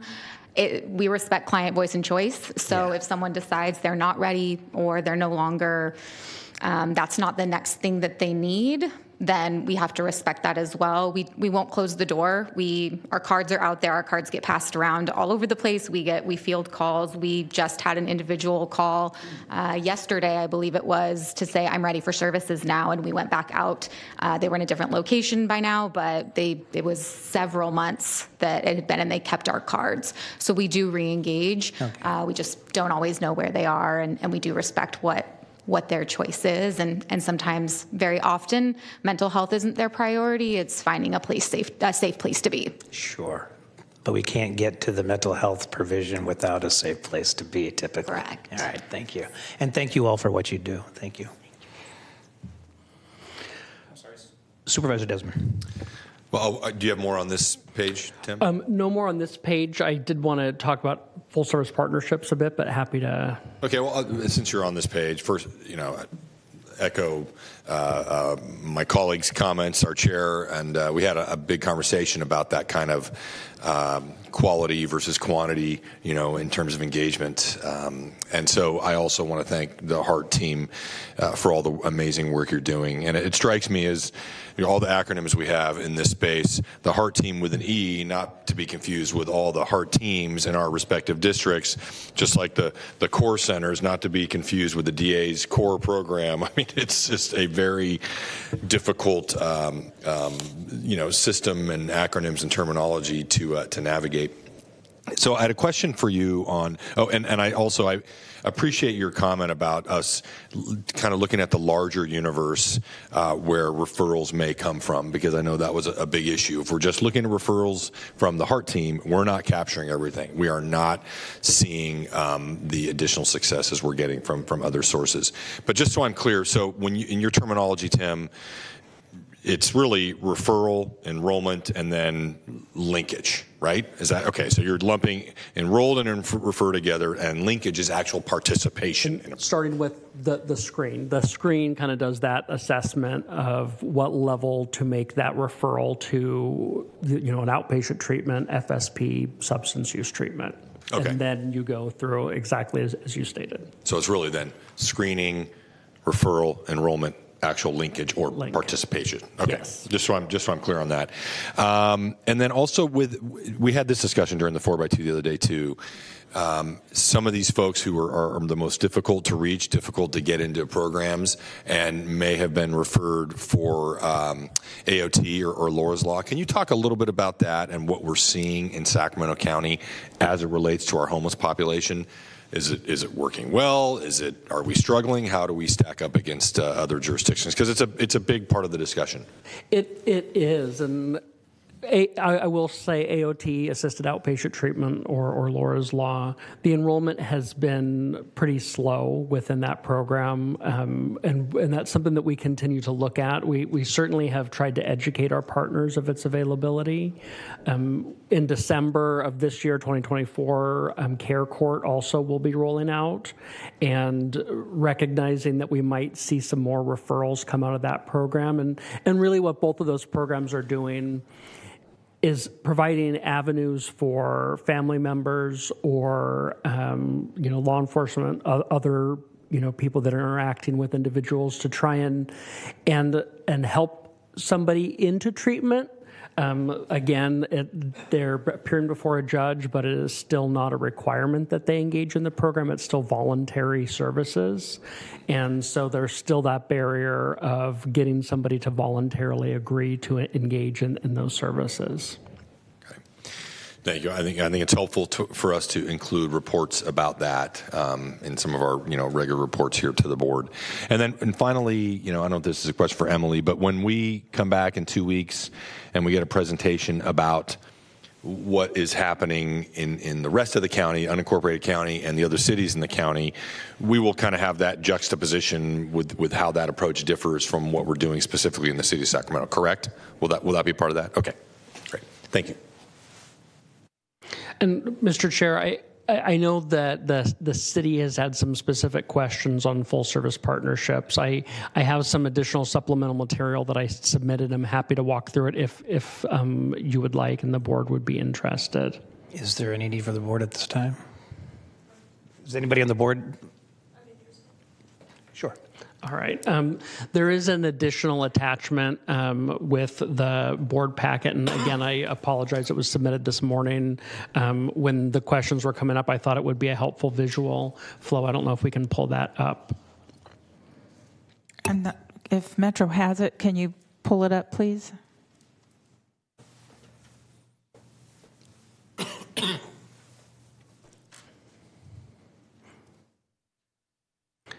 Should be the one entitled Sacramento County Just PA give, give BHS second, data summary. Give us a second, Tim. Let me just have them. While do they're they doing do. that, what I'll what I'll share is um, so th- there are a lot of questions about what is a full service partnership, and why are, are we in Sacramento not seeing more of our unhoused community going into a, a an FSP or a full service partnership? Um, a, a couple points I want to clarify. One, what we're seeing is about 17 to 22 percent of people that we're screening we are referring into a FSP. We, we feel that's a, a pretty safe and comfortable number just based on what we're seeing in, in the general population. And keeping in mind that a lot of times it's their willingness um, to engage in that level of intensive services where they're meeting with somebody daily um, and, and really on a, um, you know, it's just a high level of, of services. We um, also, um, I, I, will highlight housing, um, flexible housing funds are available in much broader than just, thank you, Siobhan. Um, are available much more broadly than just our our full service partnerships. Those going to our core centers, engage in outpatient treatment, can also get access to those flexible housing funds. So it's important to note that you don't have to be in an FSP to get housing support through behavioral health. And so there are a number of ways that people enter an FSP. Screening, obviously, is one of those. But a lot of times you have people who are engaged in outpatient treatment and they decide that, or it's, it's determined that they're willing or able to step up to a higher level of service. Sometimes they're being released from a facility and um, they're referred into an FSP. What um, what we continue to do in Sacramento is make sure we have the right number of FSP slots available to meet demand. So you can see from this chart our current enrollees within our FSPs, um, 2,391 and our capacity right now is 2,751. So last year, um, 2023, we added 360 additional um, spots. Um, in April, um, we're taking to this board um, an additional 200 spots for our Thrive, um, which is our our forensics FSP program. Super, and, Supervisor Hume, please. Thank you, Chair. This is a little bit off topic, Tim, but I just wanted to ask uh, relative to the, uh, and I always forget which bill number it was, 1483 or whatever, the one year extension that we gave ourselves. How will that number have to change? I uh, assume uh, the two are somewhat related. SB 43, but not necessarily a nexus. SB 43 um, is is really looking at grave disability and those that might um, come into a 5150 hold, but okay. um, not necessarily related to the number of of um, FSPs. What will impact it more, um, and we're still waiting for the final results of Prop One, is Prop One um, does require 30% of MHSA expenditures to be in FSPs. So full service partnership and uh, conservatorship are not the same. They're not no. interchangeable. Okay, thank you. So, um, interestingly, this is just a, a summary of FSPs per, um, uh, looked at large counties and um, adjusted it for population, recognizing that, um, you know, if we had uh, you know, one county, LA, is going to have a lot, although interestingly, they didn't have a lot more than we had. Um, so this is adjusted for population. You can see across the state of California, statewide average is about 1.04 um, FSPs per 1,000 people. Um, the orange bar there represents Sacramento at 1.49 per 1,000 um, people. Um, the only two counties that have a higher rate of, of FSPs at this point than us is San Diego and Kern County. So, to ask the obvious question, uh, are we looking at what San Diego and Kern County are doing? we are, uh, particularly San Diego. They, when you look at the chart, they um, they are by and far. I mean, they have over eleven thousand FSPs. It's it's really quite a contrast to everywhere else in the state. So we are exploring kind of what is it that they're doing, and is it has it been effective for them? So, now I'm getting really in the weeds. Weird question, but would it have any correlation with the number of FQHCs that are in the area because their FQHC number is far higher than ours? I wouldn't think it would be, but that's an interesting question. Um, I mean, we, we reached out to their behavioral health team. I'm happy to report back on, on a summary of what we find. I'd be very interested in that. Okay. Thank you. Supervisor Desmond? And Mr. Chair, it's funny. I was, I was thinking the same along, along the same lines a little bit. And, and in both San Diego and Kern, is the, could the difference be more of a, a demand there, and is the population maybe a little different, or is it simply in, in the approach that they're taking, where they're seeing more success addressing the, the, the challenges that people are facing in their communities? Right. So that, that's part of the uh, evaluation, I imagine. Right. That was one of our questions, and, and we don't feel that the demand should be that much higher or di- different than what we see in, in So it's- it's Sacramento, or certainly some of these other counties that have a much lower rate of FSPs. It, it really is a, an approach. Okay. And so we're wanting to understand what is that approach, what's that model, and what, what outcomes have they seen as a result of that. And these are all the urban counties of California that you're. Yes. you're- so we're comparing apples to apples here. Um, and and to Supervisor Hume's point, someone who is referred to AOT may end up in an FSP, of course, right? So just want to Absolutely. clarify that. So, yeah. Yes. It, And then what we're seeing, because this has come up obviously in the two by four discussions as well with the city, is you're going to be bringing um, 200 a proposal for 200 additional FSP spots to us. And and Siobhan, I'm looking kind of Siobhan or either one of you as as we see the demand grow. You're always going to keep us ahead of that number. So we are always going to have, or we anticipate always being able to have a place for people if they want to participate. Absolutely. And that's why if you look at that top number, you can see our, our capacity and we continue to add to that capacity. I'll show you. Thank you, Tim. I just want to I want to make sure we underscore that because that sometimes that gets lost too. It's people not participating is not a reflection of of a lack of capacity for them. Okay. And I'll I'll show you this this bottom chart is showing you kind of the growth in our FSPs over 10 years. The bars represent Sacramento, um, and on the left hand side, the the number is representing um, our number of FSP slots. And then the orange line is the total FSPs within the state of California. And so you can see where that, that trending is going. Um, we've continued to add, we've, we've leveled off over a few years. Um, this, this data is based on 21 22 because it was the only years that we had comparison across the entire state to, to draw on.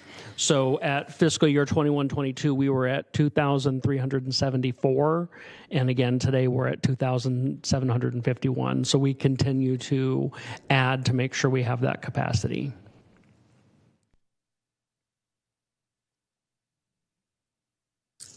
And that's really, again, the, the end of my summary, unless the board has additional questions. Okay, I see none. Is there another speaker? We don't have any other public comments. Okay, no public comment? No. Okay. So to the board, any comments? Hearing none. Thank you for being here, City of Sacramento. Appreciate it. We'll see you over across the street here soon. You're, you're always welcome here. I want you to know that. Okay, then, next item, please. Okay, for item 46, these are your nominations. You're continuing to March 26th. Natomas Community Planning Advisory Council, Sacramento County Youth Commission, Sacramento Housing and Redevelopment Commission, continuing to April 9th. Antelope Community Planning Advisory Council, Building Board of Appeals, Cordova Community Planning Advisory Council, Rio Linda Community Planning Advisory Council, Sacramento County Treasury Oversight Committee, and the South Sacramento Area Community Planning Advisory Council. You're continuing to April 23rd. Arden Arcade Community Planning Advisory Council, Developmental Disabilities Planning and Advisory Council, In-Home Supportive Services Advisory Committee, Orangevale Community Planning Advisory Council, Sunrise Recreation and Park District, and the Sylvan Cemetery District. And for your matters today, Carmichael Old Foothill Farms Community Planning Advisory Council. Please appoint Greg Smith to replace Nick Blois and waive the process. Second. And continue the remainder to April 9th. Thank you. Fair Oak Cemetery District. Please continue to March 26th. Got it.